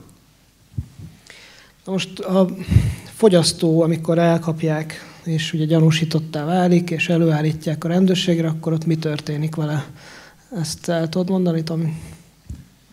Hogy hogy kapják el, és hogy kell a rendőrség, az a következő kérdés lesz? Hogy... Hát szóval... azt, igen, azt is, tehát hogy szóval... ez az egész folyamat, hogy ez hogy történik, mire kell, mit, mit kell tudni erről a folyamatról? Hát, na, hát mondjuk egy, egy két csatornája lehet, hogy hogy kerül valaki gyanúsítottként fogyasztó létére egy büntetőjárásba. Az egyik az, amit elkezdtél, amire a kérdésed elsősorban irányul, ez, a, ez az utcai igazoltatás, utcai rendőri intézkedésből induló büntetőjárás, de a másik formáját is legalább egy, egy rövid időre. Azért csak említsük meg, hogy amikor már van egy folyamatban lévő büntetőjárás, és ott valaki elkezdi elmondani, hogy még ennek is adtam el, azzal is fogyasztottam, és tudom, hogy az is fogyaszt, és így tovább. Szóval, hogy már van egy folyamatban lévő ügy, és akkor nem a rendőr megy oda hozzá az utcán, hanem, hanem mondjuk kap egy idézést, és akkor így gyanúsítják meg. Most az első eset, amikor, amikor egy utcai intézkedésből kezdődik, a, a, aztán később egy büntetőjárás, az elég sok kérdést vett föl, a, általában inkább az intézkedésekkel kapcsolatban, a magyar a rendőrség intézkedési gyakorlatával kapcsolatban, ami, ami, ami nem is biztos, hogy csak a, a kábítószerrel visszaéréshez, meg a fogyasztáshoz kötődik. Tehát ugye a rendőrségen nagyon nagy uh, nyomás van, hogy mutassa, hogy, hogy, hogy mennyit dolgozik nem magyar sajátosság, és azt a rendőr legegyszerűbben úgy tudja csinálni, hogy igazoltat. Igazoltat, és hogyha még olyan nyomás is van, hogy mondjuk könnyű összeszedni azért a fiatalokat mondjuk Budapest belvárosában, mondjuk tíz igazoltatásból és ruházatátvizsgálásból mondjuk egy-kettő be tud akadni, ahol valamilyen hogy a kábítószernek minősülő anyagot is találnak. Tehát, hogyha ilyen típusú nyomás van, akkor az megnöveli azoknak a ruházatát vizsgálásoknak a számát, amik szintén csak a, elsősorban a, a teljesítmény kényszerből indulnak ki. Hogyha ezeket nagyon szigorúan nézzük meg, és még nem a büntetőjárásról beszélünk, akkor ezeknek legtöbbször hiányzik a jogalapja. Tehát a, a ismeri a magyar jog, a, a, talán arra később fogunk majd többet beszélni, a fokozott ellenőrzést, ez most egy nagyon érdekes kérdésé vált egy Strasburgi ítélet miatt, Na de hogy alapvetően ezt használják, vagy a hasonló jogértelmezés használják a rendőrök sokszor, hogy úgymond halásznak a közterületi járőrszolgálat végrehajtásakor, és próba szerencse alapon, kb. ránézésre, de még azt is, de most konkrétan friss ügyembe, ami panaszügy tett közigazgatási ügy, olvasom mindakolásként a rendőrkapitányt, hogy hát az is gyanús, aki nem gyanús alapon uh, igazoltatják a fiatalokat. És akkor... Kapnak erről valami kiképzést, hogy mire kell figyelni? Hogy ezt a, szerintem nem nagyon kell elmagyarázni. Tehát ez egy, hogy is mondjam, csak nem egy szép tradíciója a magyar rendőrségnek. A, teljesen ez... a sztereotípiákra. Ez, ez, erre nincsen külön kiképzés, van egy elvárás, ami, ami gyakorlatilag lehet, hogy kimondott, és én nem voltam ilyen eligazításokon, de kimondatlanul biztos, hogy létezik, mert ezt még amíg lehetett a rendőrtiszti főiskolán is oktatást adni, ez elég rendőr, sok rendőrrel beszéltem ott is. Szóval, hogy hogy van egy, olyan utcai intézkedés, aminek legtöbbször hiányzik a jogalapja. És akkor ugye ebből jönnek majd ugye a ruházat átvizsgálások, amik ide tartoznak szóval általában azok se stimmelnek. Ugye a rendőrségi törvény se teljesen egyértelmű, ez egy 94-es jogszabály, tehát a legtöbb rendőri vezető, akivel én tudok vagy tudtam beszélni, az, az mind azt mondja, hogy a, rendőrségi törvényt azt újra kell kodifikálni, mert egyszerűen eljárt felette az idő. Szóval, hogy innen indulunk el. És akkor viszik be a fiatalokat, vagy hát mindegy, most fiatal vagy nem, de hogy aki gyanús az utcára. Miközben beviszik, hogyha találnak természetesen nála valamit, ami az előállítást megalapozza. Tehát tetten érik birtokláson, mert van nála ugye, zöld színű kábítószergyanús növényi törmelék, és így tovább Szóval, hogy miközben beviszik, már elkezdődik egyfajta puhatolódzás, aminek sosincs nyoma. Tehát kérdések akkor már hangoznak el, amit még utólag a rendőri jelentésbe se írnak bele, de információt már gyűjtenek sokszor az előállítás alatt, tehát addig, amíg elér a kapitányságra a későbbi gyanúsított, és akkor utána a kapitányságon tipikusan akkor történik meg, vagy ott, vagy átviszik, ugye Budapesten főleg a Gyorskocsi utcába, tehát szakértő vizsgálata, és ott leveszik a vizeletmintát, és akkor utána vagy egyből kiallgatják, vagy pedig hazaengedik, mondva, hogy várjuk meg a vizsgálatot, és akkor majd csak akkor folytatják, amikor meg a szakértői vélemény. Szóval ez a két út van. Aki még nem volt ilyen, hogy kell elképzelni a vizeletvételt? Gondolom az is érdekli az embereket, tehát ezt hogy, hogy tudják biztosítani? Hát vagy orvosi, vidéken, főleg orvosi ügyeleteken szokták ezt levenni, ezt a mintát, kapnak egy, egy ampulát, amiben kérik a, a vizelet mintát szíveskedjenek biztosítani, és utána azt lezárják, és akkor elteszik, és akkor ezt a csomagot küldik meg a szakértőnek. Hogy ott a mintavételnél ott áll a rendőr, vagy lehet egy kis falat belekaparni, vagy egy kis ízét, csapot megengedni, az már egy kicsit változó. És Budapesten ezt talán jobban kontrollálják, de az attól is függ, hogy a rendőr mennyire fáradt, mennyire veszi komolyan ezt a, van olyan rendőr, aki úgy fogalmazott, a hivatásanyag talán nem a legértékesebb szegmensét, amikor pisire kell várni a, a, a 16 éves mellett, szóval ez attól függ. És akkor ezt így ugye megkapja a szakértő. Mondom, még egyszer elkezdődik már sokszor kérdezősködés, valamikor ezt természetesen bűncselekményt el nem érő módon, de már nyomásgyakorlásra használják a rendőrök. Mondd el, hogy kitől vetted, jobban jársz, bent tarthatunk 12 órára, és ezek ilyen dumák, általában nem így történik, de hogy sokan megijednek, ez is rendőre válogatja. Ugye tudni kell azt, hogy nincsen Magyarországon, vagy én legalábbis nem nagyon tudok róla, hogy eltérhet lenne a bodycam, tehát a testkamera a rendőrökön. Nem tudjuk, hogy a rendőr mit kérdez. Nagyon kevés rendőrautón van szintén felszerelt kamera. Szóval nem az mint az Egyesült Államokban, hogy amikor a rendőr kiszáll a kocsiba és intézkedni kezd, intézkedni kezd. Felolvassa a jogaidat. Igen, és akkor elindul a streamelés, a, a intézkedések, szóval erről szó sincsen. És addig, amíg beérkezünk, egy csomó minden történik, és aztán ugye elkezdődik a kihallgatás, ami meg már egy csomó más kérdés vett föl, de nagyjából a kérdés az volt, hogy eddig hogy jutunk el. Okay. Így van. Mi történik, hogyha nem, nem ad? Nem képes, vagy nem akar valaki vizeletet biztosítani? Hát, hogyha már meggyanúsították, akkor köteles egy alávetni magát a szakértői vizsgálatnak, ezt az eljárási törvény is konkrétan előírja. Tehát sok joga van a, a gyanúsítottnak, vagy a terheltnek összefoglalóan, később vádlott vagy elítélt. Legfontosabb joga az, hogy egyáltalán nem köteles közreműk, nem kell egy szót se szólnia, csak a hamis vád köti meg idézőjelbe a kezét, azt mond, amit akar, vagy nem kell beszélni, tök mindegy. De a szakértő vizsgálaton alá kell vetnie magát, együtt kell működni a szakértőnek.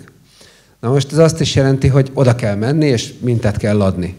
Ha viszont nem ad mintát, akkor ugye ez jó kérdés, talán erre is irányul a kérdés, hogy erőszakkal biztosítható-e a vizelet minta levétele. Ugye erre az Emberi Jogok Európai Bíróságának van egy közelmúltban született ítélete, és hát az szerint az a, az embertelen bánásmód tilalmába ütközik. Ez egy szép ügy volt, jó sokáig vittük az ügyfelemmel Strasbourgba, de hogy végül is sikerült ebben egy, egy elég progresszív ítéletet hozni. Ez a hármas cikk, tehát a kínzás embertelen megalázó bánásmód tilalmába ütközik, amikor ezt a fiatalembert konkrétan bilincsbe felrakták a, a, a ügyeleten, a, az ágyra, és akkor erőszakkal bevezettek a, egy húcső katétert neki, és akkor úgy vették le a mintát a, a vizsgálata, ami egyébként pozitív lett. Mi a, helyzet, mi a helyzet a fiatalkorúakkal a büntetőeljárás során? Vannak fiatalkorúak a büntetőeljárás során. Be is viszik őket. Tehát nagyjából ugyanez a helyzet, mint amit a, a Tamás elmondott. Tehát, és igen, ott is megy a nyomasztás, tehát ezt az mindannyian tudjuk. Tehát ugye, a tárgyalóteremből is látszanak dolgok néha azért.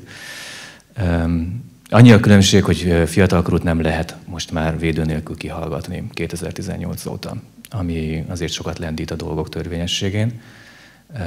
Meg a fiatalkorúaknál értesítenék a törvényes képviselőjét, és akkor ő is jelen lehet a, a gyanúsítotti kihallgatásán. Az mindig elég árulkodó amúgy, amikor fiatalkorúak ügyében azt látjuk, hogy nem volt jelen a törvényes képviselője a kihallgatásán. Tehát az már azért egy jel... Ezek szerint előfordul?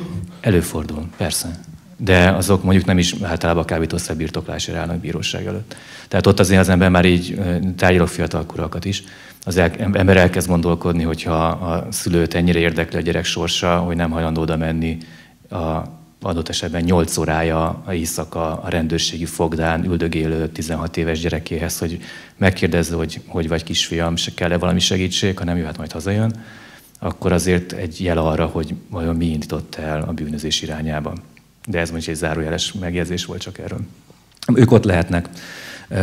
És ez elvileg ugye azért lehetnek ott, hogy a kihallgatás törvényessége biztosított legyen, de az megint más kérdés, hogyha ott üldögél már, tudom én, este 8-tól ugye reggel hát hajnali 3-ig, 4-ig, amíg hajlandóak közölni vele a gyanúsítást, és akkor ott a fogdán üldögél a 15 éves gyerek a rendőrségen, hogy akkor ott lemegy a rendőr egy kicsit beszélgetni vele, vagy nem megy le a rendőr egy kicsit beszélgetni vele. Ezt ugye utólag nyilvánvalóan soha az életben nem derül ki az iratokból, hogy ott akkor történt vagy nem történt valami.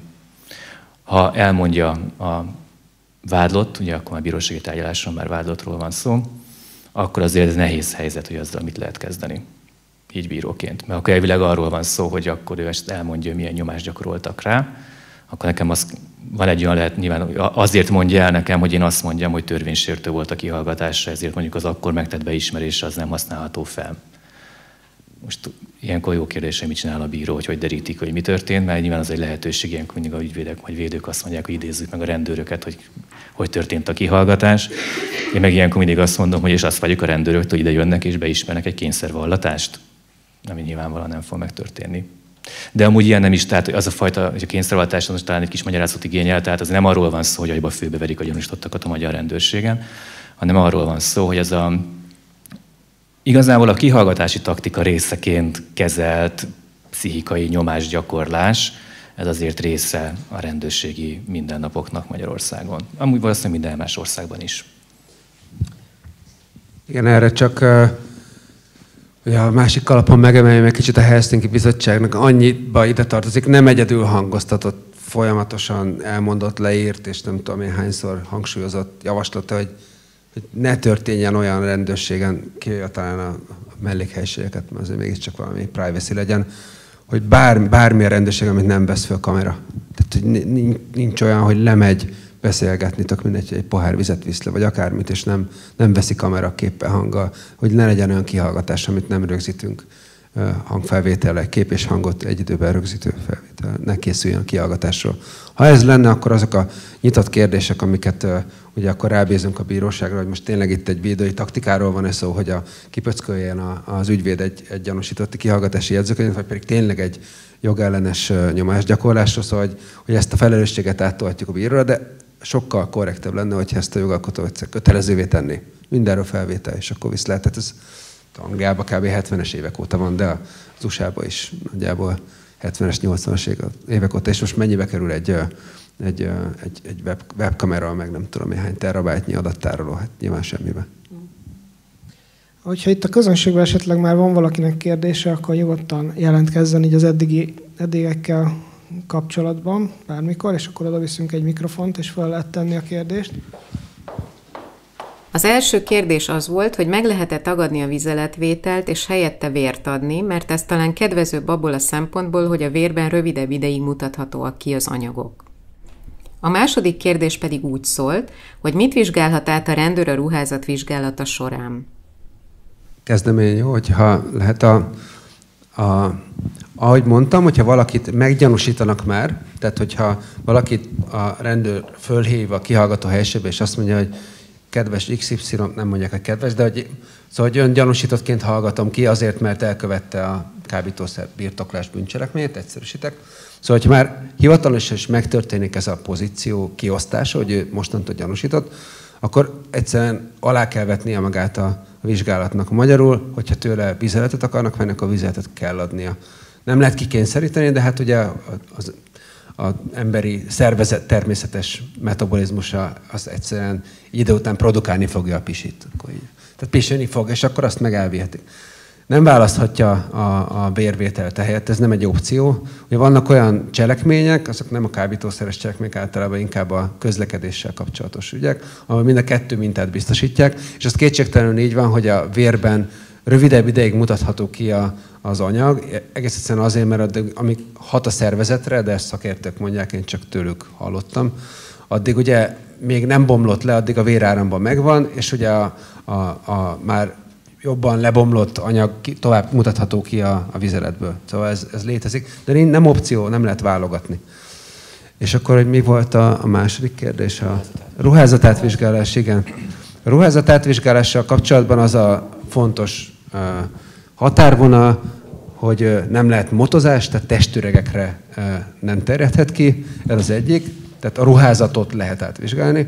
A másik pedig a motozást, ugye az régies elnevezés, kutatásnak, mindegy, tehát hogy ez a testtöregvizsgálata nem térhetett ki. Vannak bizonyos szabályok, amik azt mondják hogy ha, ha csak valami nagyon-nagyon sürgős körülmény nem indokolja, akkor kizárólag azonos nemű végezheti el. És ezt nem lehet személyemsértő vagy emberi méltóságot sértő módon kivitelezni. A ruházatátvizsgálás sem. Tehát, hogy, hogy valakit mondjuk szétpakoltatni az utca közepén úgy, hogy, hogy, hogy legalább annyit nem tesznek meg, hogy ne a földre kelljen kipakolni a, a, a zsebéből például, ami nála van, akkor azt, azt nem lehet így végrehajtani, az jogsértő, hogyha valaki egy rendőri panasz eljárásba ezt kifogásolja. Tehát a, az emberi méltóságot, mint minden rendőri intézkedésnél, itt is tiszteletbe kell tartani. Természetesen a, a ruházatátvizsgálásnak is az a célja, hogy valamilyen tiltott birtoklását törvény által tiltott táj megtalálására irányuljon. Tehát, hogy olyasmire menjenek rá a rendőrök, ami nem lehet az adott embernél. Mondjuk egy közbiztonság veszélyes táj, vagy mondjuk kábítószerek minősítelő És kell valami gyanú arra, hogy azt az ember magánál tartja. Oké? Okay? Ez az egyik kiindulás. Ha nincsen valamilyen gyanú, hogy a, a, ilyen tárgy van, vagy anyag van az adott személynél, akkor nem lehet átvizsgálni a ruházatot egy kivétellel, hogyha a személy szabadságát korlátozó intézkedés hatály alatt van. Tehát, hogyha valakit bevisznek, akkor azért, hogy ne támadhassa meg a rendőröket, akkor viszont át kell gyakorlatilag, gyakorlatilag mindig át is vizsgálják a ruházatot. Tehát, hogy elvegyek a kést, vagy valamit, amit rejteget, amikor beviszik a rendőrség. Köszönöm szépen mind a két meghívott vendégnek a nagyon értékes információkat. Az előzőhöz csak kommentálni, hogy van valami talán ORFK vagy BRFK állásfoglalás erről, hogy volt egy eset, és akkor két vérvétellel helyettesítették a vizeletvételt, de ez persze nem, nem jogszabály vagy ilyesmi, de van, van erről valami, valamiféle állásfoglalás, és szerintem ahhoz kapcsolódott itt az előző kérdés, hogy létezik egy ilyen papír, de ez, ez ahogy mondta is Tomi, hogy ez, ez nem opció. Én készültem, és van öt kérdésem, de nem akarom itt nagyon behúzni itt a műsor hátralévő részét.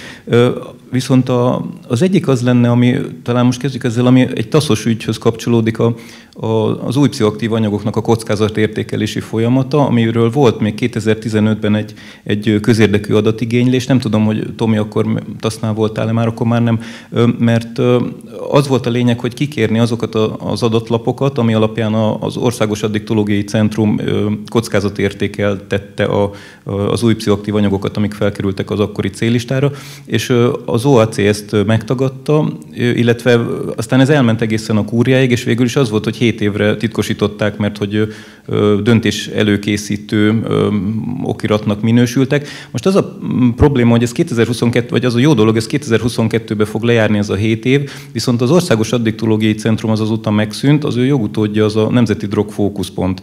És most nem tudom, hallottam ilyet, hogy kis madarak csiripelték, hogy az OAC viszont úgy eltűnt, hogy, hogy a számítógépen lévő dokumentumaival együtt, hogy valószínűleg ez lehetetlen lesz ez az adat igénylés teljesítése, hogy erre vonatkozik valami jogszabály, hogyha, vagy hát gondolom kéne egy ilyen, hogyha ha egyszer felmerült egy közérdekű adatigénylés, akkor azokat az adatokat, amik egy bizonyos időtartam után igényelhetőek lesznek, azokra nem kéne valami védelmet biztosítani, hogy, hogy ne lehessen úgy eltüntetni mégis? Nem tudom, ez kihez tartozik a kérdés. Hát csak röviden válaszolnék, amennyire én tudok azzal együtt, hogy a, ezt a konkrét ügyet nem ismerem, és egy taszos kolléga biztos, hogy pontosabb választ tudna adni, tehát nem venném el a kollégának a kenyerét sem. Ugye a, a, az adatminősítés, tehát a, a valamilyen jogcímen titkosítása az adott közérdek adatnak, az lehetséges. Azt ugye lehet többféleképpen például bírói kontrollal is felülvizsgáltatni, de egyébként a, a, a Nemzeti Adatvédelmi és Információ Hatóság is végez ilyen minősítés felülvizsgálatot külön eljárásban. És hát nyilván ennek az eljárásnak ugye a tárgyát azt mindig meg kell őrizni. Tehát, hogy ezt az adatot ezt nem lehet kidobni, eltüntetni, kipucolni, és így tovább. Úgyhogy a madarak, hogyha az igazat csicseregték, akkor itt biztos, hogy valamilyen jogsértés történt, és azt annak kell, hogy legyen felelőse.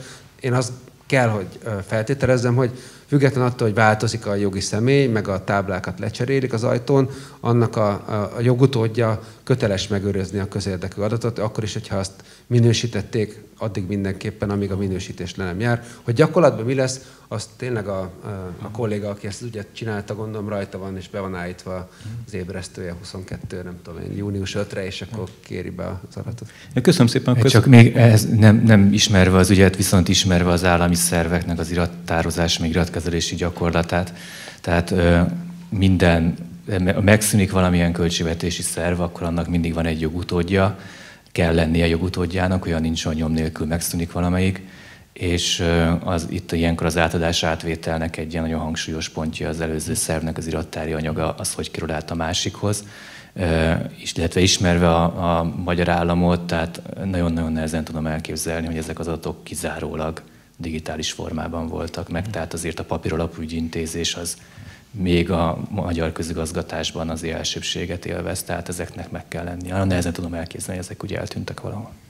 Köszönöm szépen, akkor azt majd 2022-ben valószínűleg akkor a TASZ, TASZ-szal elővetetjük az ügyet.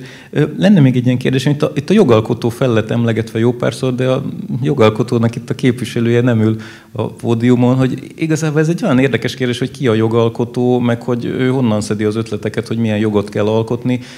Volt ilyen szakértői konferencia, ahol a végülis találkoztam egy jogalkotóval, aki egy néni volt, és a néni azt mondta, hogy de hát ők úgy nyitottak arra, hogy mindenki úgy kommentálja, hogy, hogy hogy legyenek a dolgok, meg ők megkeresnek társadalmi szervezeteket, stb. Csak hát ez valahogy ez, ez eléggé átláthatatlan folyamat, hogy akkor például a célista, meg a generikus része miért lett olyanra csinálva, amilyen, hogyha itt a, a jogalkotó az elvileg itt közre adta a kérdést, és akkor várta a válaszokat, de hát ha nem jönnek válaszok mondjuk a Nagycsaládosok Országos Egyesületétől, meg a többi ilyen intézménytől, amik, amik hát egy listán vannak, hogy kiket kell megkérdezni, akkor a jogalkotó igazából nem tudom, hogy honnan tudja, hogy mit lehet csinálni, mert ez merül fel például, hogy a, a kábítószer ügyek azok a BTK-ban az egészséget veszélyeztető bűncselekmény kategóriában vannak, ami itt, ahogy a Ignác György mondta, hogy a, ő mérlegel, de hogy a, tehát például a tett súlyossága, hogyha látja, hogy ez nem volt egy egészséget veszélyeztető bűncselekmény, de mégis abban a kategóriában van a,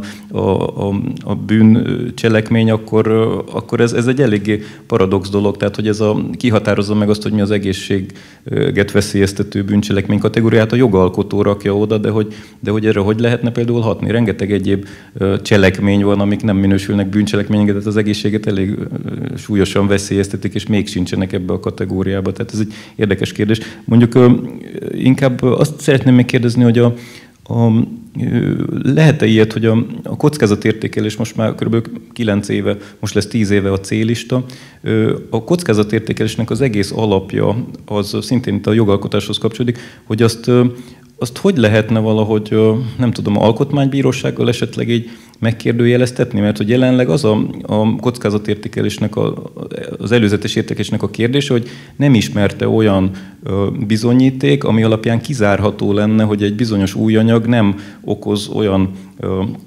káros következményeket, mint a, a listán már szereplő anyagok. De hogy ez, ez az egész kérdés nem egyszerűen érthető, de végül is a, egy bizonyítékra kérdez rá, egy olyan bizonyítékra, ami elméletileg sem lehetséges. Tehát, hogy nem létezhet olyan bizonyíték, ami ki tudná zárni, hogy egy bizonyos anyaggal soha senki a jövőben nem fog semmi rosszat csinálni. Ez maximum, ha Isten leszól, hogy én garantálom, hogy ez így lesz, vagy, vagy nem tudom, valaki kristálygömbből kiolvassa látva a jövőt, akkor ez bizonyíték, de egyébként nem létezik olyan bizonyíték, ami a jövőre vonatkozva tudná garantálni, hogy nem lesz visszaélés egy bizonyos anyaggal. Tehát, és az egész kockázatértékelés az ezen alapul, hogy, hogy egy ilyen bizonyítékra kérdeznek rá, ami elméletileg sem létezhet. Nem tudom, hogy ebben lehetne esetleg valamilyen alkotmánybírósági rákérdezés, hogy ez, ez akkor hogy is van tulajdonképpen? Hát alkotmánybírósághoz fordulni ma Magyarországon azért viszonylag szűk körben lehet, hát abban a körben, amit az alkotmánybírósági törvény megenged.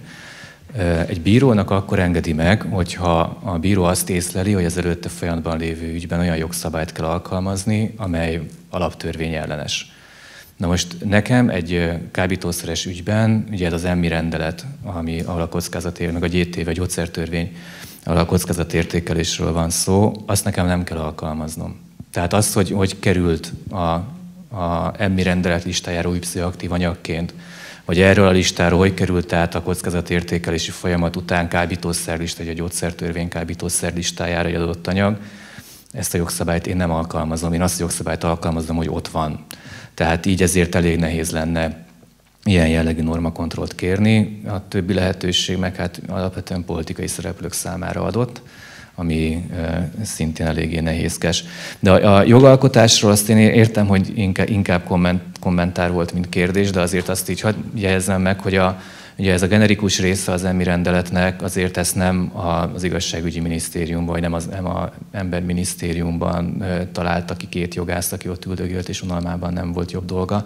Tehát azért emögött volt konzultáció egyéb szervekkel, és ezt, gyak, ezt vegyész szakértők, illetve a nemzeti, akkor, lehet, hogy akkor még, a, még BSK-i volt, de most már NSKK, vagy a Nemzeti Szakértő és Kutatóközpont, szakértői is részt vettek annak a kodifikációjába. Mindjárt nem azt mondja, hogy ők találták ki, de ők voltak azok, akik ennek az átültetését segítették. És ugye ez a fajta szabályozás amúgy az EU több tagállamában jelen van, az egyik, a másik pedig, hogy az egész kockázatértékelés EU-s jog alapon nyugszik, vagy EU-s jogi alapon nyugszik. Tehát már így is egy kicsit azért nehézkes ezzel itt Magyarországon bármit is kezdeni, de kétségtelen, hogy igen, van gond a kockázatértékeléssel, ebben tökéletesen egyetértünk.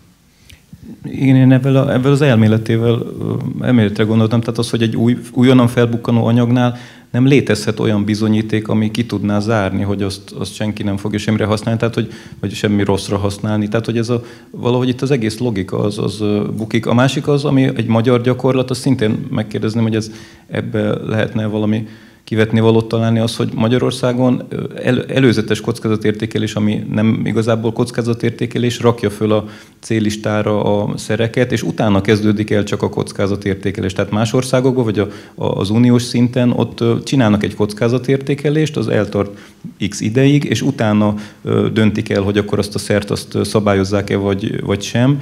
Magyarországon viszont először fölrakják büntetőjogi következményekkel járó jegyzékre, és utána kezdik el kockázatértékelni. És akkor kockázatértékelés eredményeképpen hát két dolog lehetséges, az egyik az, hogy kábítószerré sorolják, vagyis a B listára átrakják. A másik opció, ami még soha nem történt meg, hogy D jegyzékre raknák, ami üresen tátong a D jegyzék most meg nagyon sok éve, illetve a, harmadik a gyakorlati lehetőség pedig az, hogy beragadnak a szerek a C-listára, úgy, hogy most már vannak olyan szerek, aminek már talán 8-9 éve kockázatértékelés alatt vannak, és még mindig nincs meg az eredmény, tehát még mindig a C-listán vannak, ideiglenesen tartózkodnak a C-listán, 8 éve körülbelül, hogy, hogy ezekkel, ezek ilyen közigazgatási jogszabályok. Persze hivatalosan meg lehet hosszabbítani évente, de hogy, de hogy ezek, ezek ilyen, ilyen anomáliákkal lehet valamit kezdeni, ami végül is egy ilyen jog, jog elméleti anomália, vagy pedig a másik pedig az egy hát ilyen ártal, ártatlanság vélelme dolog, tehát hogy már elítélik, mielőtt még kivizsgálták volna a szert. Persze ez a szerekre nem vonatkozik, csak emberekre. Meg, megpróbálok, de csak azért röviden válaszolni, mert egy csomó olyan kérdés van, ami teljesen logikus, de nem fogunk tudni itt választ adni rá, mert hogy, hogy tehát hogyha, hogyha más ritmusban születnének a jogszabályok, és nagyobb lenne a társadalmi egyeztetés ebben, amiben azt gondolom, hogy nekünk itt az asztalnál sajnos kevés ráhatásunk van, illetve hogyha, hogyha mondjuk az alkotmánybíróság kicsit talán szigorúbb lenne a, ezen a területen, a, a, akkor lehet, hogy nem beszélgetnénk erről, de minden más kérdést azt sajnos a jogalkotó így a, politikai a, szempontok figyelembevételével is, de így szabályozott, és ezzel nem fogunk tudni sajnos változtatni. Tehát én nagyon örülnék, hogyha azt tudnám mondani, hogy de találok egy olyan ügyfelet, aki emiatt majd alkotmányi panaszt, mert közvetlenül érinti, majd bead az AB-hez, és akkor átmegy a rendszeren, és akkor majd az AB megsemmisíti.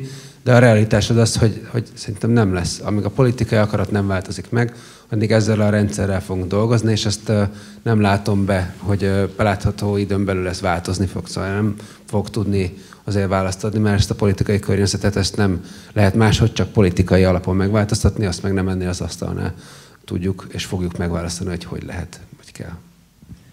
Csak két mondatot, mert hogy nagyon érdekes dolgokat hallottunk, de szerintem talán nem mindenki tudja, hogy miről van szó, így ilyen részletességgel.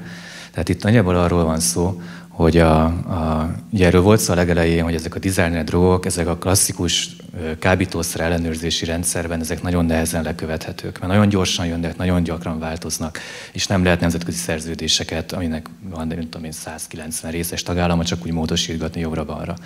És ezért találtak ki, és ez amúgy EU-s találmány, ez a kockázatértékelési rendszer, meg az, meg az ártatlanság vélelme szegény kábítószer, vagy szegény drogoknál, hogy ha feltűnik az EU valamelyik tagállamában valamilyen olyan, olyan szer, amit amúgy kábítószerként használnak, de nem kábítószer, mert mi nem tudjuk, hogy mi az, de megjelenik lefogalásokban, akár valamilyen biológiai mintában, akár boncolásnál, hogyha valaki valamibe belehalt, és akkor kiderül, hogy van valami ismeretlen, eddig nem elterjedt szer van, van a, volt a szerzetében, akkor van arra lehetőség, hogy ezt csak erre hivatkozással, hogy megjelent valamilyen szer, aminek igazából azt látjuk, hogy kábítószerként használják a fogyasztók, de nem tudjuk igazán, hogy mi ez, mennyire veszélyes, honnan jött, hogy ezt az új pszichoaktív anyagok listájára felveszik, és ez úgy is működik, hogy igazából az EU bármelyik tagállamában találtak ilyen szert, ránéztek, megvan a molekula szerkezet, akkor erről küldenek értesítést az EU többi tagállamának, és önmagában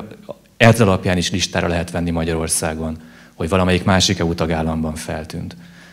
És akkor így új pszichoaktív anyaggá változik egyik napról a másikra, mert ez egy miniszteri rendelet, ezt ebbe beleírni 5 perc. És utána jön a kockázatértékelés. A kockázatértékelésnek pedig az a jelentősége, hogy miután eldöntöttük, vagy miután észrevettük azt, hogy itt veszély van, mert hogy valami feltűnt, és adott esetben, tudom én, belehalt két hét alatt nyolc ember az egyes villamos vonalán, akkor most betiltottuk, nem lehet forgalmazni, nyertünk egy kis időt, és akkor nézzük meg, hogy mi ez valójában. És itt jön az, amit, amit hallhattunk, hogy meg kell vizsgálni azt, hogy ennek van-e az adott szernek visszaélés, visszaélési potenciája. Tehát, hogy valóban, hogyha ezt így szabadon engedik a, a, az emberek között, akkor ebbe adott esetben bele fogja halni még két hetente nyolc ember, vagy nem. És ez a kockázatértékelés, most rendkívül egyszerűsítve nyilván a dolgot. És a kockázatértékelésnek elvileg két eredménye lehet. Ugye az egyik eredménye az, hogy azt mondja a, hát a jogalkotó. Azt mondják a szakértők, és ezt követi a jogalkotás, hogy hát igen, ez egy veszélyes szer, pont olyan, mint a többi kábítószer, akkor ezt inkább kezeljük kábítószerként, és akkor átkerül a, a gyógyszertörvénynek a kábítószer listájára, tehát bünteti jogilag is kábítószerként kell mostantól kezelni, és akkor lekerül az új pszichoaktív anyagok közül. A másik pedig, hogy az derül ki, hogy valójában ez nem is olyan veszélyes, és ezt igazából senki nem fogja a jövőben kábítószerként alkalmazni, és akkor rákerül ha mindig elfelejtem, milyen szem, ez a 66 per 2012-es, mint olyan, egy kormány, kormányrendeletnek a D listájára, amin az olyan szerek vannak, amik egy időben új pszichoaktív anyagnak minősültek, de aztán rájöttünk, hogy nincs velük semmi baj. És ez az a D lista, ami, amióta ez a rendszer van, azóta üres. Tehát soha, soha nem történt még ilyen. És akkor a nem nem igazán a jogalkotói elképzelés tükröző, de gyakorlati megoldás az az, hogy a szer ott marad az új pszichoaktív anyagok listáján. Ami azért anomália, mert elvileg most azt hiszem egy év a kockázatértékelés, és azt talán meg lehet még, hogyha nincs elég bizonyíték, akkor még egy évet rá lehet húzni.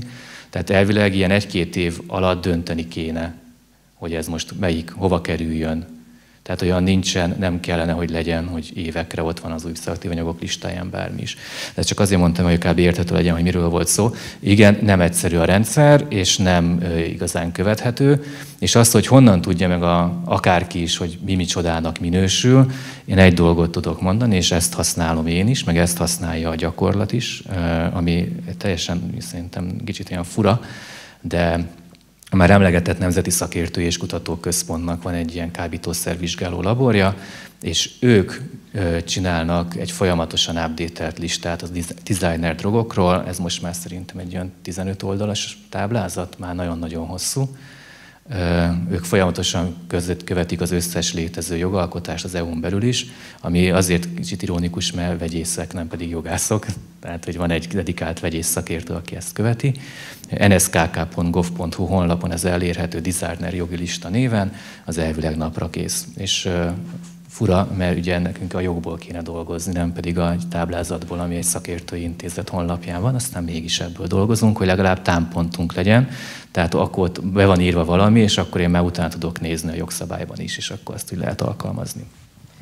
még mielőtt ezen a vonalon tovább megyünk, ide tartozik, ez is felszokott merülni kérdésként. Ugye vannak ilyen internetes boltok, és akkor ott ugye designer drogokat nem drogként árulnak, hanem mondjuk fürdősó, meg hasonlók, és hogyha mondjuk van egy jó hiszemű vásárlónk, aki hát egy látszólag teljesen legális online boltban megrendel fürdősót, utána őt a rendőr előállítja, vagy ez valamilyen módon a tudomására jut a rendőrségnek, hogy és akkor ebben az esetben ő bűncselekményt követett el? Ez az egyik kérdés. Másik pedig, a, ami szintén sokat szokott felmerülni kérdésként, hogy az ilyen növényeknél, tehát amiket akár ilyen dísznövényboltokban is árulnak néha, mondjuk ilyen kaktuszok, aminek ugye van kábítószer hatóanyag tartalma, hogy, hogy mondjuk amiket így meg lehet vásárolni mondjuk egy ilyen boltban, és hogy valaki ezt dísznövényként megveszi, akkor mondjuk utána lesz nála egy házkutatás, és ezt lefoglalják, bevizsgálják, meszkalin volt benne, akkor ez bűncselekménye. Ez a két Hát a másodikra egy hirtelen nem tudok válaszolni, bevallom őszintén, de elvileg az kéne, hogy legyen, de nem tudom. Nem tudom. De azért, azért bonyolult ez a kérdés, mert az abszolút nem egyértelmű, hogy az ilyen növényi alapú kábítószereknél mikor van az, amikor a növény is önmagában listán van, ilyen a cannabis amúgy, ami már maga a növény is listán van, vagy mikor van az, amikor a növény nincsen listán, de a belőle kivont hatóanyag már listán van, és ez a kettő nagyon nem ugyanaz. És ez a peyote kaktusz, ha jól emlékszem, igen, ez, most ezt nem tudom megmondani neked. Meg kell nézni a listákat, vagy az NSZK-kat meg kell kérdezni, hogy úgyis jobban értenek hozzá. Az első kérdésre viszont a válasz az, hogy igen, bűncselekményt követel, az, az egyszerűbbik része a dolgnak. A következő kérdés az, hogy tudta hogy bűncselekményt követel. És ugye a büntető jogban az egy alapvető elv, hogy a, a jog nem tudása az nem mentesít. Tehát attól még, hogy valaki nem tudta, hogy amit ő elkövet, az jogilag hogyan minősül, hát attól még az bűncselekmény. De a helyzet egy kicsit bonyolultabb, és a joggyakorlat is belátta azt egy ponton, hogy annyira bonyolult a jogrendszer, hogy nem mindenkitől várható el, hogy minden egyes rezdülését lekövesse napra készen. És nem a kábítószerekre van kitalálva ez a jogelv amúgy, hanem minden egyéb bűncselekményre. A, hát nem tudom, hogy kúria volt-e már akkor, de minden esetre a, a, most már kúria egy ügy konkrét ügyben kimondta, és nem fogom tudni szó szerint idézni, hogy ha itt olyan, tehát igazgatási szabályok megszegése, tehát igazgatási szabályok az, amikor ilyen rendeletekben szabályozott dolgok, megszegésével követel valaki bűncselekményt, akkor azért ott nézni kell, hogy milyen mélységében kell lemennie a jogrendszerben ahhoz, hogy ő felismerje, hogy amit ő csinált, az jogsértő. És ha jól emlékszem, a konkrét ügy, amiben ezt kimondta a, a kúria, az egy természetkárosítás volt, ahol a vádlott az megvásárolt, azt hiszem Afrikában, valamilyen terméket, ami védett állatból készült. Meg nem tudnám mondani, hogy mit. És azzal szépen megvásárolta legálisan egy helyi boltban, és szépen beutazott vele Magyarországra, jött haza, és akkor megállították a vámosok, és mondták, hogy hát ez már pedig védett állat, és akkor szépen bemutatták neki, hogy ez valamilyen szabályban benne van, hogy valaki valamikor, valamilyen, ott is listák voltak, valamilyen védett állatok listájára rávette, és valahol valamilyen magyar jogszájban benne van az is, hogy nem csak maga az állat, hanem az ebből készült bármilyen terméket sem lehet Magyarországra behozni, és hogyha mégis behoztak, az a természetkárosítás büntettét követte el ezzel. És meg azt mondta, hogy hát ő kiment, és egy helyi boltban legálisan pénzért megvásárolta, még számlát is kapott róla. Honnan tudhattam volna, hogy ez bűncselekmény? És akkor ez lett a vége, hogy ő, akkor ezt így jobban tévedésnek hívják, hogy ő tévedett a keret kitöltő normák tartalmát illetően. Tehát ez egy létező dolog. Most ezt hogy lehet lefordítani a mi témánkra? Hát alapvetően nehézkesen. Mert amikor valaki elmegy és akkor mondjuk a Hős utcát, a Hős utca 15 per A, meg 15 per B, ami amikor még a Pesti Központi Kerületi Bíróságon dolgoztam, akkor sok más ügyben is felmerült elkövetési helyként, és ott valami egészen sötét pincében, valami egészen sötét alaktól vesz valami szert, és aztán azt ott a sarokba belövi magának, azért itt nagyon könnyű azzal érvelni, és nehezen tudnék ellenérveket felsorakoztatni, hogy hát azért tudni kellett volna, hogy ez nem a legális mondja beszerezni dolgokat. Ugye amit kérdezel, ami még itt a designer drog robbanás elején volt, hogy mi van akkor, hogyha a, a mi vádlottunk felment egy honlapra, amit nem is a torból kellett elérni, hanem szépen a Chrome-ból elérte, bármilyen tök legális formában. Látott egy webshopot, kiválasztotta a terméket, beiklikkelgette, hogy éppen mennyit kell, kér belőle, megadja a szállítási címét, megadja, hogy ő utánvétellel akar fizetni, leadja a rendelést, kap egy visszaigazoló e-mailt, megjelenik egy hét múlva a GLS futár, hogy hoztam a csomagot, 4500 forintot kérek, és ő szépen a GLS futárnak ezt a pénzt kifizeti. És akkor megkapta a, tudom én, fürdősóként hirdetett, de valójában valamilyen szintetikus kannabinoidot, vagy szintetikus katinon tartalmazó kis csomagját. Tudjuk mi azt mondani, hogy hát egyértelmű kellett volna legyen, hogy ez, hogy ez valami tiltott dolog van. De meg azt mondani, hogy hát milyen tiltott dolog van akkor, amikor a GLS futárnak fizettem ki az árát. És ezért mondtam ezt a példát, mert ez konkrétan megtörtént. Tehát ez a, a Dexter Scam Store nevű 12-ben felszámolt webshopnak ez volt a működési módja. A GLS-sel szállítatta ki a kis csomagokat. És ott még amúgy pontosan lehetett tudni, hogy mit vásárol, mert ott elküldte a, egy londoni laborba bevizsgáltatni a szereket, amiket Kínából rendelt, és kirakta a honlapra hogy akkor az mi van benne. Ez megkönnyítette a bizonyítást. De többet nem mondhatom, hogy én tárgyaltam ezt az ügyet, tehát nem nagyon mondhatok el semmit róla, mert saját ügyémről nem nyilatkozhatok, de hogy ez egy ilyen létező dolog volt. Tehát akkor mi tudjuk mondani, így kétséget kizáró bizonyossággal, amikkel az elítéléshez, hogy hát már pedig tudni kellett volna. Az itt nekem vannak kétségeim. Csak annyit tennék hozzá, hogy mondjuk a, a, amikor egy ügy elindul, és aztán a végén adott esetben a bíróságra kerül, van egy tényállás, és akkor ott ugye van egy nyomozás arra, hogy ki csinált ebben a konkrét ügyben, hogyha ha, ha valaki amikor a rendőr rajta őt éppen bennül a kádban, és ott a, a, a bugygó vízben ott éppen szórja bele. Az. Szóval hogy abban az esetben, de most nyilván sarkított példát mondok, abban az esetben azért azt lehet érvelni, hogy, hogy a felhasználásnak egy olyan módját hasz, választotta, ami az ő jó hiszemű tudása szerint a termékleírásnak felelt meg. Ha valakinél mondjuk pejotú kaktusz van, és ott ül, és a nagymama locsolgatja a sarokban, nem tudom micsoda, az más kérdés, ahhoz képest, hogyha egyébként a vizeletvizsgálat kimutat egy rakás olyan bomlás terméket, amit csak úgy kerülhetett a szervezetébe, hogy hogyha ő legelgeti a, a, a pejató kaktuszt is, meg főzögeti magának, nem tudom. Szóval, hogy, hogy, hogy mindig azért meg kell vizsgálni természetesen az egész bizonyítást, az összes bizonyítékot, milyen felvételek készülnek, milyen egyéb eredmények vannak, és akkor abból lehet összerakni azt a képet, ami, ami a jogban való tévedés, nagyon szűk esetét megalapozhatja adott esetben, ez tényleg egyébként elég ritka, de azt hiszem, hogy egy, egy anekdotikus esetet el lehet mondani, a, a, amikor a, a tűcsere programban, és most nézek a kamera felé résztvevő pszichológus, tette fel azt a kérdést, hogy mi van, hogyha én ugye fecskendőt adok, akkor a tűcsere program munkatársaként akkor elősegítem-e a kábítószer fogyasztását, és bűnsegéd vagyok-e? És akkor erre azt mondta az ügyészség, hogy hát a jogban téved a, a szakember. Ő azért nem büntethető, mert a jogban való ostobasága, tévedése ugye a büntethetőséget kizáró okot jelenti. Erről van egy gyönyörű ügyészi határozat. Egyébként ez egy taszos perkender magas ilyen akció volt, amiben kiderült, hogy akkor legalábbis az ügyészség azt gondolja erről. Szóval akkor, ha jól értem, az ügyvédi tanács az, hogyha valaki designer drogot birtokol és jön a rendőrség, akkor csináljon fürdőt. Lefordíthatjuk. Inkább. Még, még, még egy dolog, ha már itt előkerült ez a tűcsere, ez az a tipikus példa, amikor a konkrét cselekménynek nincsen társadalmi veszélyessége. Tehát ez, ez kellett volna, hogy legyen az indokolás szerint, és talán azóta már inkább ebbe az megyünk, mert ha jogilag, formálisan nézzük, akkor azzal, hogy a, a bűncselekmény elkövetéséhez, elkövetését megkönnyítő feltételeket biztosítja, hogy ez a bűnsegéd törvényi definíciója. Tehát formálisan kimeríti ezt a, a, a tényállást, de ugye néznünk kell azt is, hogy mert hogy a bűncselekmény van benne hogy az, az a társadalom a veszélyes cselekmény, hogy ez veszélyes a társadalomra, és nyilvánvalóan nem veszélyes a társadalomra. Orsi, van kérdésed?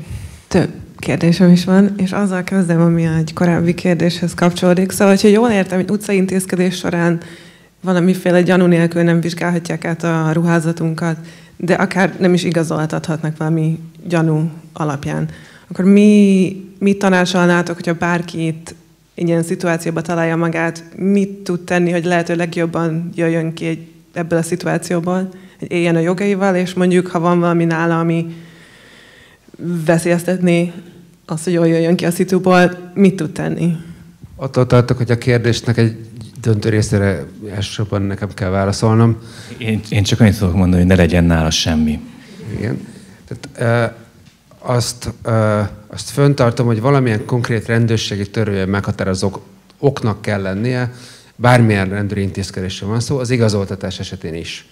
Az igazoltatásnak a törvény célja nyilván az, hogy valakinek a személyazonosságát megállapítsák, de hogy miért, azt is egyébként a, a törvény szabályozza valamilyen közbiztonsági, közrend oknak kell lennie, de hogy nem csak egy általános elvont, hanem egy konkrét gyanúknak is kell lennie. Tehát az, hogy az adott ember mondjuk például olyan ö, ö, magatartást tanúsít olyan területen, ö, van mondjuk este ugye a tudom, parkolóban bóklászik, úgyhogy nincsen ott autója, és nem tudom én, tele van vagy a kezében éppen egy ilyen feszítővas tart, szóval, hogy, hogy, hogy olyan ö, oknak kell lenni, ami azért legalábbis az intézkedés megalapozza. Itt nem kell még tetten érni ilyesmi, de valami gyanúnak kell lenni. Szóval hogy kell, igen, és a ruházatátvezéshez is kell. Szerintem ez az igazi uh, konform értelmezése a mostani rendőri törvény, rendőrségi törvény szerint a szabályoknak is. Én azt uh, viszont sajnos nehezen tudom mondani, hogyha valakivel, mondjuk kábítószeres cselekményekről beszélünk, valakivel szemben egy olyan igazoltatás és ruházatátvizsgálásra kerül sor, amikor hiányzik a rendőrségi törvényben a jogalap, akkor egy bíró azt tudja mondani, hogy akkor nem ítéli el. Mert hogyha egy, egy, egy eljárásban vagy egy ügyészhez kerül adott esetben az ügy, előkerül a, a birtokban tartott kábítószer, akkor másodlagos kérdés lesz, és a büntetőjogi felelősség szempontjából nem lehet az én tapasztalatom szerint nem veszik figyelembe azt, hogy egy jogsértő rendőri intézkedésnek lett az eredménye, hogy bekerült az eljárásba az ember. Szóval, hogyha nem voltam elég egyértelmű, tudok olyan konkrét ügyet mondani, amikor teljesen világosan hiányzott az intézkedésnek a jogalapja, semmiféle oka nem volt a rendőrnek igazoltatni, a világon köze nem lett volna ahhoz, hogy az ő ruházatát átvizsgálják, de előkerült a kábítószer, előkerült a kanabisz, pozitív volt utána a vizet, és utána nem tud mit csinálni már az ügyész, és igazából abban az konkrét ügyben a bíró sem tudott mit kezdeni azzal, hogy egyébként meg lehetett nyerni a panasz ügyet, ami a rendőri intézkedéssel szemben akár egy közigazgatási bíró szerint is eredményre vezetett. És azt mondta egy közigazgatási bíró, hogy nem lehetett volna ezt így csinálni. A végén ott van a illegális vagy kábítószerek mindenesülő szer birtoklása. Oké, okay? tehát elválik a két kérdés. Van egy olyan, ami a rendőri intézkedésre vonatkozó jogorvoslat. Mindenki, aki hasonló helyzetben van, és úgy gondolja, hogy, hogy megkérdőjelezhető a rendőri intézkedés jogszerűsége, azt arra tudok csak biztatni, hogy tegyen panaszt. Ezzel együtt azt kell mondanom, hogy természetesen a rendőri intézkedésnek, hogyha az nem nyilvánvalóan jogszerűtlen, annak alá kell az állampolgárnak vetni magát. Szóval nem lehet betagadni, és fizikailag meg aztán pláne ellenállni egy jogszerű rendőri intézkedésnek. Panaszt viszont lehet tenni, és utólag azt, most az egy hosszabb, meg más beszélgetés, hogy milyen hatékonyságát, de ki lehet vizsgáltatni. Ugye csak zárójelben annyi, hogy a, a két panasz ügy közül az egyik az, az, az ombudsmanhoz megy, ott egy-két-három évig ülnek rajta, és akkor utána a bírónak csak annyi joga lehet, hogy esetleg a rendőrségi döntést azt visszaadja még egyszer a rendőrségnek. A másik fajta panasz pedig kétfokú eljárásban indul, a rendőrség vezetőihez kell benyújtani, ott 30 napon belül.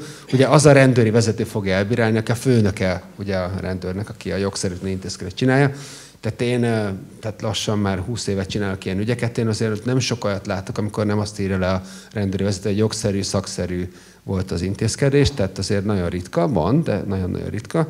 Szóval, hogy ez lesz a, a, és utána meg az ő felettese Budapesten a kerületi kapitány, meg a BRFK vezetője lesz, aki kivizsgálja panaszt. Tehát azért nagyon rossz százalékban ö, ö, lesz majd ö, eredménye a panasztásnak, de lehet is kell panaszt tenni, és akkor ebből lesz egy döntés, és akkor a másik pedig az, hogy meg lehet úszni a büntetőjárás, csak azért, mert jogszerűtlen volt az intézkedés, és a válaszom az, hogy nem. Tehát én anekdotikus példákat tudok mondani, az, mondjuk az, az Egyesült Államokban azért, hogyha nem arra vonatkozik, mondjuk ott az házkutatási parancs, amit, amit megtalálhatnak a rendőrök, tehát bemegy egy, egy ingatlanba, hogy, hogy mondjuk oda a véreskést elvigye, és arra van egy házkutatási parancsa, akkor a halom kokainra egy másikat kell kérni a, a bírótól. Addig nem nyilván biztosítani fogja a, a helyszínt, és fog majd kérni egy másikat, csak azt például nem foglalhatja le. Csak egy külön arra dedikált uh, uh, engedély uh, birtokában. Szóval, hogy uh, más, ott, ott, ott, más lehet az eredmény. Itt szerintem nem tudok olyan tanácsot adni, amivel ki lehet kerülni. Hogyha valahogy előkerül a rendőrnél, ott lesz, meg tudja találni a kábítószert, akkor abból ügy lesz, büntetőjárás lesz, és kész. Csak hogy lehet, érthető legyen, hogy miért válik szét ez a két dolog. Tehát a, a minden büntetőügyben vizsgálni kell a bizonyítékok törvényességét. Ez az alap, ez a kiinduló pontunk, hogy minden egyes bizonyítékra, amit az ügyészség fel akar használni, mielőtt bármit is csinálunk vele, bármi mondásunk van róla, meg kell nézni, hogy törvényesen szerezte be a nyomozóhatóság vagy az ügyészség. De hogy mi a törvényes, ez alapvetően a büntető eljárási szabályok aspektusából értelmezhető. Tehát a, ugye itt be, nyilván hát jogalkalmazóként be kell tartani a törvényt, akkor is, hogyha nem tetszik, főleg az eljárási szabályokat, amik gyakrabban nem tetszenek, mint igen néha. De hogyha azt mondja a büntetőeljárási törvény, hogy akkor lehet egy bizonyíték törvényességéről, tehát bizonyítékról kimondani, hogy nem törvényesen szerezték be, hogyha a büntetőjárásban rögzített bizonyítási szabályokat megsértették a, a nyomozás során, akkor nekem azt kell néznem, hogy az eljárások szempontjából törvényes volt-e. Viszont ezekre az intézkedésekre nem a büntetőeljárásban kerül sor, nem a BS szabályai alapján kerül sor, tehát igazából fel sem merül, hogy ott a BE-nek milyen szabályait tart, betartják vagy nem tartják. Egy dolog van, a lefogalás legyen törvényes, miután már megtalálták, mert az már a büntetőjárási, büntetőjárásban megy. Mert amikor utcán igazoltatnak és ruházatát vizsgálnak, akkor alapvetően még a rendőrségi törvény alapján járnak el a rendőrök. Most az, hogy a rendőrségi törvénynek megszekték-e vagy nem szekték meg a rendelkezéseit, azt én a büntetőeljárásban azért nagyon-nagyon szűk körben vizsgálhatom, főleg, hogyha egy ilyen rendőri intézkedésről van szó. Még van kérdésed, ugye? Még, csak még mielőtt ezt felteszed... Nagyon el, elkeseredett, lehet, hogy nem teszi fel a többit. mielőtt még azt felteszed, nekem egy ide kapcsolódó kérdésem még van, hogy a, mi a helyzet a lehallgatásokkal? Tehát ugye a rendőrség ez elég gyak, nem tudom mennyire gyakran, de kábítószeres ügyekben gondolom ez elég gyakran, gyakori, hogy oda, ott, ott milyen szabályok vonatkoznak, mennyire van szabad keze a rendőrségnek, hogy kit hallgathat le, milyen célból, meddig, hogyan, stb. Egyáltalán nincsen szabad keze a rendőrségnek, hogy kit hallgathat le. Tehát Magyarországon lehallgatni bárkinek a telefonját, az kizárólag bírói engedély, engedéllyel lehet. Ja, amit itt manapság gyakran hallunk, az igazságügyi miniszter engedély, az egy teljesen más kérdés, az a nemzetbiztonsági célú titkos információgyűjtés. Tehát itt bűnüldözési célú titkos információgyűjtésről van szó, ahol a nyomozó hatóságnak meg kell jelölni azt, hogy milyen tények alapján gondolja azt, hogy az adott telefonszám, vagy az adott telefonszámnak a használója, ugye nyilván telefonszámra is lehet menni, meg használóra is lehet menni, hogy azt milyen indokok alapján kell, vagy szükséges lehallgatni annak érdekében, hogy a nyomozást előre vigye. Ennek vannak rendkívül bonyolult és hosszadalmasan fejtegetett eljárási szabály, nagyon sok feltétele van bűncselekményre, vannak külön feltételek, hogy milyen bűncselekmény esetében lehetséges ez, akkor elvileg, és ez egy nagyon nagy elvileg, csak akkor lehetne lehallgatni, vagy bármilyen ilyen titkos információgyűjtés végezni, vagy leplezett eszközöket alkalmazni, hogyha más nyílt eszközök nem alkalmasak az adott cél elérésére, stb. Tehát ez egy ilyen bonyolultan körülbástyázott rendszer. És a lényeg az, hogy nem a rendőrség dönti el, hogy kit hallgat le. A rendőrség az elvileg tesz egy előterjesztést erről az ügyésznek, vagy az ügyész, vagy megy rögtön, attól függ éppen milyen eljárásban vagyunk ebbe, hagyd ne menjek bele. De a lényeg az, hogy a végső soron egy bíró fog dönteni már a nyomozás során is arról, hogy engedélyezi a lehallgatást, vagy nem engedélyezi a lehallgatást.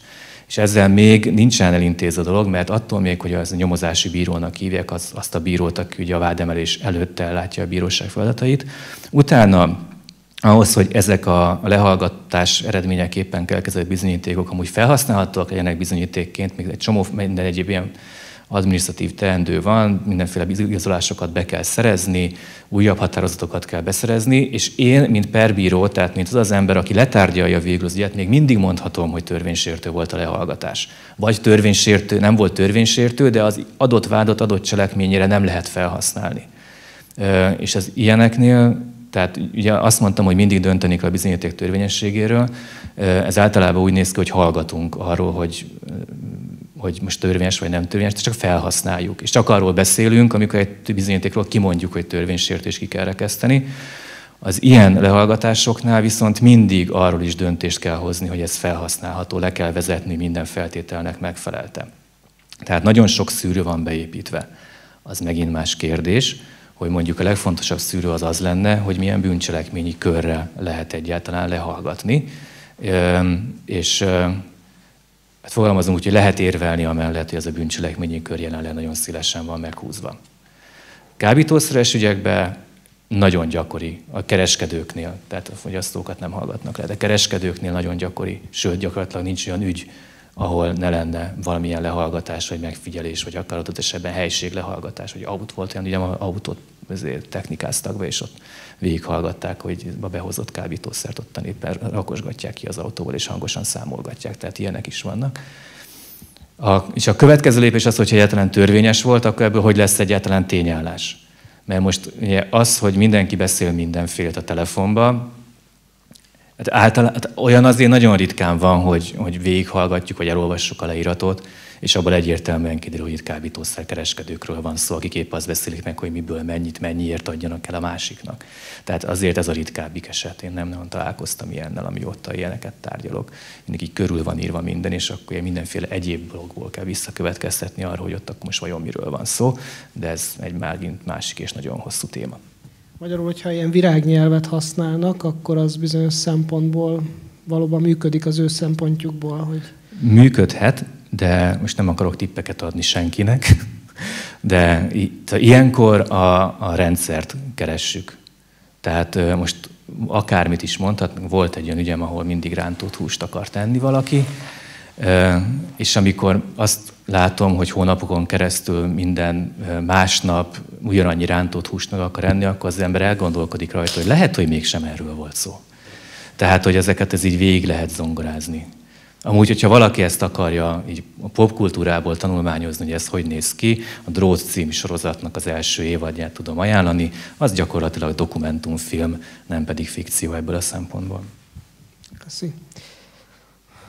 Oké. Okay. A, a következő, um, korábban szó volt a tudományos tényekről, és hogy mennyi van elérhető magyar nyelven, vagy mennyit vesz egyáltalán figyelembe a büntetési eljárás, nem tudom, ez egy jó szakszó, de hogy tegyük fel, hogy engem jogszerűtlenül megmotoznak és találnak egy liter illegális valamit, viszont Dunát rekesztő mennyiségű tudományos bizonyíték van arra, hogy én ezt gyógyszerként használom, tegyük fel, akkor ennek milyen esélye van ezt a, ennek az argumentációnak egy bíró előtt?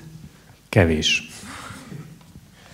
Tehát vannak olyan amúgy kábítószernek minősülő szerek, amiknek van gyógyszer, gyógyszer orvosi felhasználása, tehát ez nyilván nem kizárható dolog, de ugye ez csak akkor legális az, az orvosi felhasználás, hogyha ennek van orvosi rendelvénye. Tehát hogyha bárki tud nekem mutatni receptet, hogy felírta neki az orvos, akkor nyilván nem merül fel, hogy ő büntetendő lenne bármilyen szinten, és gondoljuk nyilván mondjuk ilyen végstádiumos rákbetegeknek a palliatív ellátásában használt ö, ópiát származékok, amik, hogyha azt nem ő használja, hanem a szerencsétlen rákbetegnek az unokája lopkodja ki az ópiátokat a, a nagymamájának a szekrényéből, és ő eszegeti, akkor ő azért büntetendő lesz. Akkor is amúgy, hogyha legálisan került valakihez, mert csak azt fogja csak azt használhatja, meg fogyaszthatja, akinek amúgy orvosilag indokolt.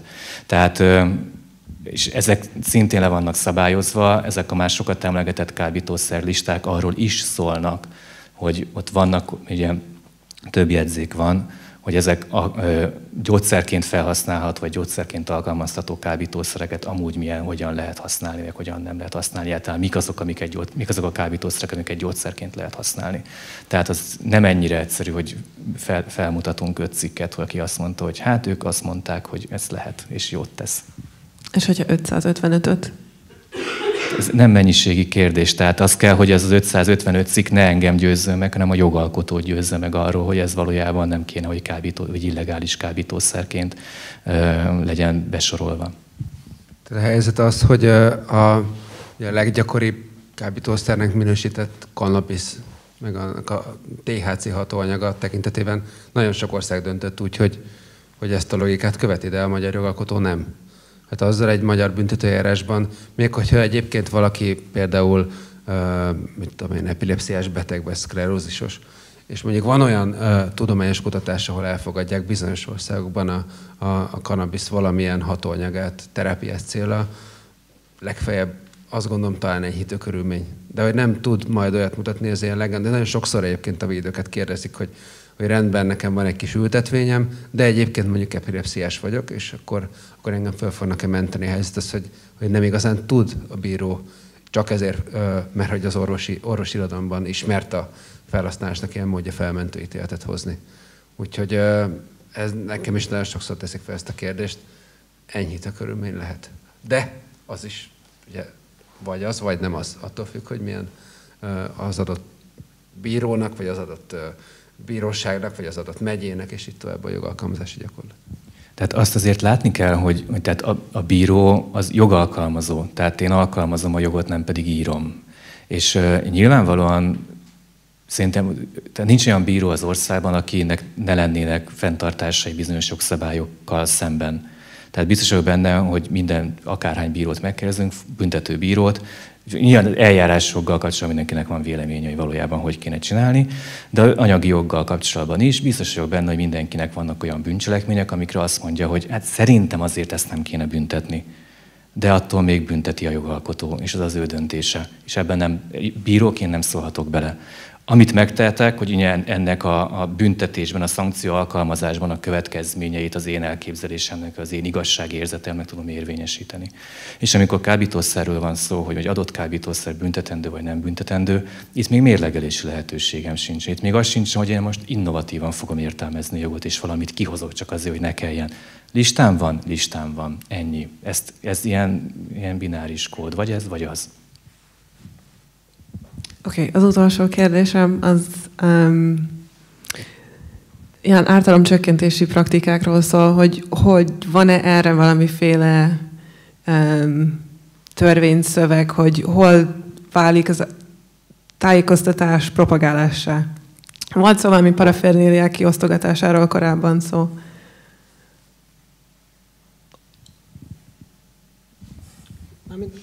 Az a kérdés, hogy, hogy valakit elítélhetnek-e mondjuk azért, mert ő mondjuk ártamcsökkentő célból arról beszél fiataloknak, hogy milyen technikával lehet megelőzni ezeket az ártalmakat, hogyan tudja biztonságosabban ja, fogyasztani. Okay, és így már ez... értem, bocsánat, nem egészen értettem, hogy miről van szó. Hogy az információátadás hol Aha. válik buzdítássá? Hát igen, ez is egy összetett kérdés. Egy kicsit hadd kanyarodjunk vissza még ilyen nagyon régi büntető törvénykönyvekhez. Talán a, a nagy 99-es módosítás volt az, ahol, ahol ezt a drogpropagandát, ezt megpróbálták leszabályozni, nem tudom, hogy én jól emlékszem-e ahol ez benne volt a BTK-ban, hogy aki nem, nem tudom már mi volt benne, de nagy nyilvánosság előtt, ilyen, az, hát amikor reklámozza azt, hogy, hogy, hogy drogozni jó, vagy hogy, hogy kell drogozni.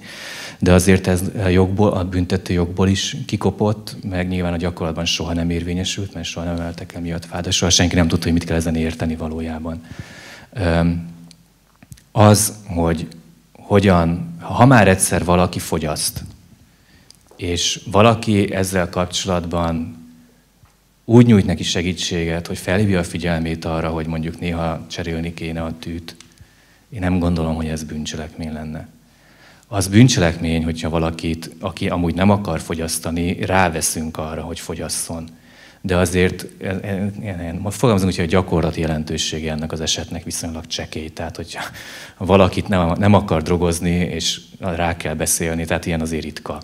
Általában az emberek akarnak drogozni, ezt azért mindannyian tudjuk, és lebeszélni kéne őket róla, ha már valamit. De azt, hogy valaki így konkrétan ahhoz nyújt segítséget, hogy valaki, ha már egyszer drogozik, akkor legalább ne halljon bele, legalábbis rövid meg középtávon. Én ezt nem gondolom, hogy bárki is büntetni akarná. Én sem nagyon tudok olyan eljárásra, ami amiatt indult, mert valaki információt osztott meg olyan nem felbújtói magatartásként, ami, a, ami az ártalmak csökkentését, tehát nem csak a, a, mondjuk az életének a megóvását, hanem mondjuk a, a, az ismert ártalmak csökkentését célozta. Tehát, hogy kevésbé ártalmas felhasználási módot használjon a, a, az adott szerrel kapcsolatban. Se tanár, se, se előadás miatt.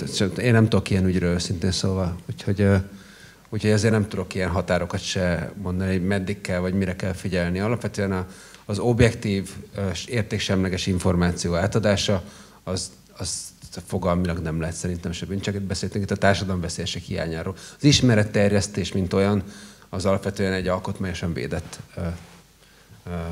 a szabad véleményimányítás körébe tartozó, a tudomány szabadsága körébe tartozó jog inkább.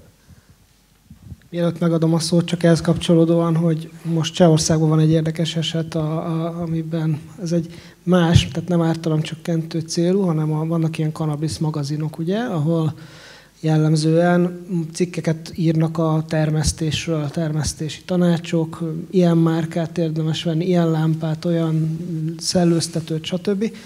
És most ennek az egyik ilyen magazinnak a szerkesztőjét büntetőjárás alá vonták, mert hogy állítólag van egy olyan emberük, aki, aki egy vádlott, aki, akinél be lehetett bizonyítani, hogy a, annak a magazinnak az instrukciói alapján termesztette az ültetvényét, és hogy a cseh törvényben is van valami ilyesmi, hogy drogpropaganda, és akkor, hogy azt ráhúzták. De ez persze ez nem magyar eset, tehát... Hát ugye ez Magyarországon azért lenne legalábbis nehézkesen minősíthető, de lehet, hogy nem tudom, hogy ebből egyet fogunk érteni, mondja kiderül mert ez bűnsegély az lehetne, de az legalábbis a magyar BTK szerint ott a, a bűnsegéd és az elkövet, hogy a tettes között ilyen konkrét kapcsolat kell, hogy legyen. Tehát ahhoz az kell, hogy ő oda, a bűnsegéd oda menjen az, a tetteshez, és így személy szerint neki nyújtson segítséget, hogy az ő szándékát erősítse ezzel, hogy ő segítséget nyújt neki. Tehát a magyar büntető jog szerint ilyen személyes kontakt nélkül nem nagyon lehet bűnsegédként elítélni senkit ezt, erre csak ráerősíteni tudok. Tehát, hogy, hogyha nem tudom, hogy mi az adok segítséget valakinek, akit soha életemben nem láttam, akkor nehezen látom, hogy büntetőjogilag felelős lennék. De hát, mondjuk erről a cseh jogi szabályozásnak a, a, az érdekes anachronizmusáról mondjuk egy példát, hogy ott mondjuk a 2000-es években még egyébként ismerték mondjuk menekültjogban a, a a, ugye a, azt a módszert, hogy a menedékkérők szexuális orientációját úgy állapították meg, hogy meleg pornót vetítettek neki, és hogyha izgalomba jött, ugye ezt a műszerrel mérték, akkor ugye megállapítható lehetett, hogy nemi alapú üldözésnek volt az áldozata. Aztán az egy uniós bírósági döntés volt, ami ezt eltörölte 2000-es évek. Szóval hogy a cserrendszerben azért szerintem vannak még vicces dolgok. Én úgy emlékszem, hogy ez a jelenlegi cseh esetben valami narkománia terjesztése a, a váda az illető ellen. Toxikománia. A toxikománia, igen, pontosan, igen. Hát itt érintett vagyok itt a droginformáció és ártalomcsökkentés terjesztésében, másban nem, de hogy az elmúlt húsz év gyakorlat azt mutatta, hogy itt nekem legalábbis nem volt semmi problémám ebből, hogy itt üzemeltettem a dát.hu Magyar Pszedlikus Közösség honlapját a több mint tízezer regisztrált használóval, és a, és a lényeg az, az volt, hogy, tehát, hogy felszólításként nem szabad azt mondani, hogy szívjál füvet, vagy valami hasonló, ez most idézőjelben volt, persze kimondtam, hó. De hogy az a lényeg, hogy ne legyen buzdítás vagy felszólítás, de az információadás arról, hogy, hogy milyen szerek vannak, hogyan hatnak, akár pozitív hatások is, vagy negatív hatások, tehát hogy miért használják, az abszolút nem ütközik semmiféle jogszabályba. A 2000-es évek elején viszont volt egy ilyen a magyar jogban is, a, ez a szervezési ismeretek volt a neve ennek, tehát ezt kivették a 2000-es évek elején, nem tudnám megmondani fejből, talán 2000, lehet, hogy még 2002 körül, mert hogy volt ez, hogy aki berendezést, stb. stb. ad ö, ilyen célokra, akkor az, az most is büntethető, viszont ott a berendezés mellett ott volt még régen ez a szervezési ismeretek. És én megint csak úgy emlékszem, hogy mintha a TASZ-nak lett volna egy ilyen esete, ahol a, a, a srác az a valamilyen weboldalon ö, cannabis termesztési útmutatót adott közre, és mintha neki lett volna ügye ebből, hogy, hogy kijöttek, lefoglalták a szerverét, vagy, vagy gépét, vagy ilyesmit. Tehát, hogy ez a szervezési ismeretek dolog, ezt, ezt úgy vették, hogy a fűtermesztés az, az egy ilyen szervezési ismeret közreadása. De ez, ez, ez már tényleg már szerintem több mint 15 éve nincs meg.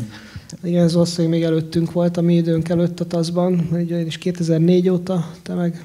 Jelöltként 2002 Ez valószínűleg egy korábbi ügy volt, de hogy most már viszont van egy felvételünk, az végteleníteni tudjuk, hogy szívjelfüvet, szívjelfüvet tőled. Úgyhogy... Do. Kérdés még esetleg? Ja, bocsánat, még, még annyi komment, hogy volt egy ilyen kezdeményezés még a, a parlamentnek a kábítószerügyi eseti bizottságában, hogy, hogy a, mikor még csinálták a, ezt az, a most már kimúlt drogstratégiát, ami nemzeti drogstratégia volt, aztán nemzeti drog ellenes stratégiává átkeresztelték, hogy akkor volt egy ilyen kezdeményezés, hogy ö, legyen benne a stratégiában az, hogy, hogy ö, lehessen fellépni a kábítószert népszerűsítő oldalak ellen és ez a tervezett szövegben benne volt, de aztán végül is rákérdeztek, hogy akkor mik ezek az oldalak, és akkor a illető ott a eseti bizottságban beterjesztett egy listát, amin az első két helyen az általam üzemeltetett dát.hu oldal szerepelt, de ebből nem lett utána semmi, és a, végleges szövegből ezt, ezt kivették, sőt a végleges szövegbe bár az ártalomcsökkentés azért mostoha gyerek, de hogy körülbelül úgy belefér az, hogy tehát információ nyújtás, vagy, vagy tehát hogy ilyen buzdítás, vagy ilyesmi, azt, azt nem, nem tekintik, hogy ez az információ közeledés az buzdítás lenne. De volt voltak kezdeményezések, hogy... Hát el tudom képzelni, ez a propaganda, ez, ez most is új értelmet nyer, hogy bizonyos értelemben tilos, szóval, hogy, ja. Van-e még valakiben benne ragadt kérdés bármivel kapcsolatban?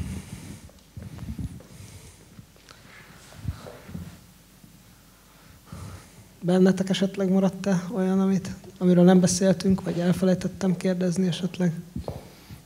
Még még egy érdekes kérdés van, ami nem jön át azért annyira a büntetőjogi szabályozás meg a gyakorlat területére, de nagyon izgalmas szerintem, ami a orvosi kanabisz.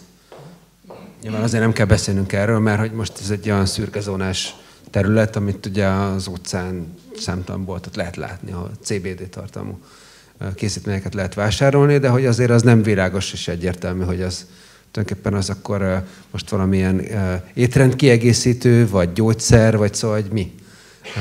És hogy ennek a háttere, ez egy ilyen szürke zónás. Valahol egy, egy olyan változásnak lehet az első jele talán, ami, ami lehet, hogy alapjában változtathatja meg azt a, azt a rendszert, amit most ismerünk, és aminek most még része a kanabis, úgy, mint az összes többi kábítószernek tartott anyag, meg annak a meg hatóanyag adott esetben, és ugye itt vannak folyamatok a, a WHO-nál is, amik, amik ez irány mutatnak. Ez csak egy igen, az egy olyan depresszív lezárás esetleg. Az, az, azért érdek, ez egy elég nagy mocsár most, amennyire én tudom, ez az egész CBD olaj téma, ugye, hogy mindegy, szóval szerintem az elég bonyolult lenne belemenni, de azt nem tudom egyébként, hogy bíróság elé jutott-e bármikor is CBD olajügy? Nem, én legalábbis nem tudok róla. Itt egy dolog van, ami, amire azért így nagyon oda kell figyelni, hogy ugye itt Elvileg a, a CBD az így önmagában nem feltétlenül nem tiltott szer, vagy nem kontrollált szer, de ha van THC tartalma, akkor már igen. Tehát én is láttam olyan CBD olajat, amire rá volt írva, hogy a THC tartalma az kevesebb, mint 0,2 százalék. És itt van egy ilyen széleskörű félreértés ezzel a 0,2%-kal a közvéleményben, hogy minthogyha hogyha azt nem írja a THC tartalom, az ne lenne bűncselekmény, de az is bűncselekmény. Tehát a, a, ja, a, az egységes kábítószeregyezmény első jegyzékén a kannabisz rajta van. Tök mindegy, hogy mennyi a THC tartalma. Ha van benne THC, a maga a növény az, az büntetendő annak a birtoklásra, hogy bármilyen tevékenységvel lesz azzal kapcsolatban. A pszichotrop egyezménye meg rajta van konkrétan a delta 9 THC, szintén mindenféle mennyiségi határ nélkül. Ez a 0,2 százalék, ez onnan jön, hogy a, a rostkender az ugye elvileg legálisan felhasználható bizonyos körülmények között. Ugye ez is kannabisz. És ez kivételként szabályozza amúgy maga az egységes kábítószeregyezmény is, és ennek folytán a magyar jogszabályok is, az a kormány rendelt, aminek mindig elfelejtem a számát, és abban az szerepel, hogy az alacsony THC tartalmú kenderrel végzett bizonyos tevékenységek azok jogszerűek.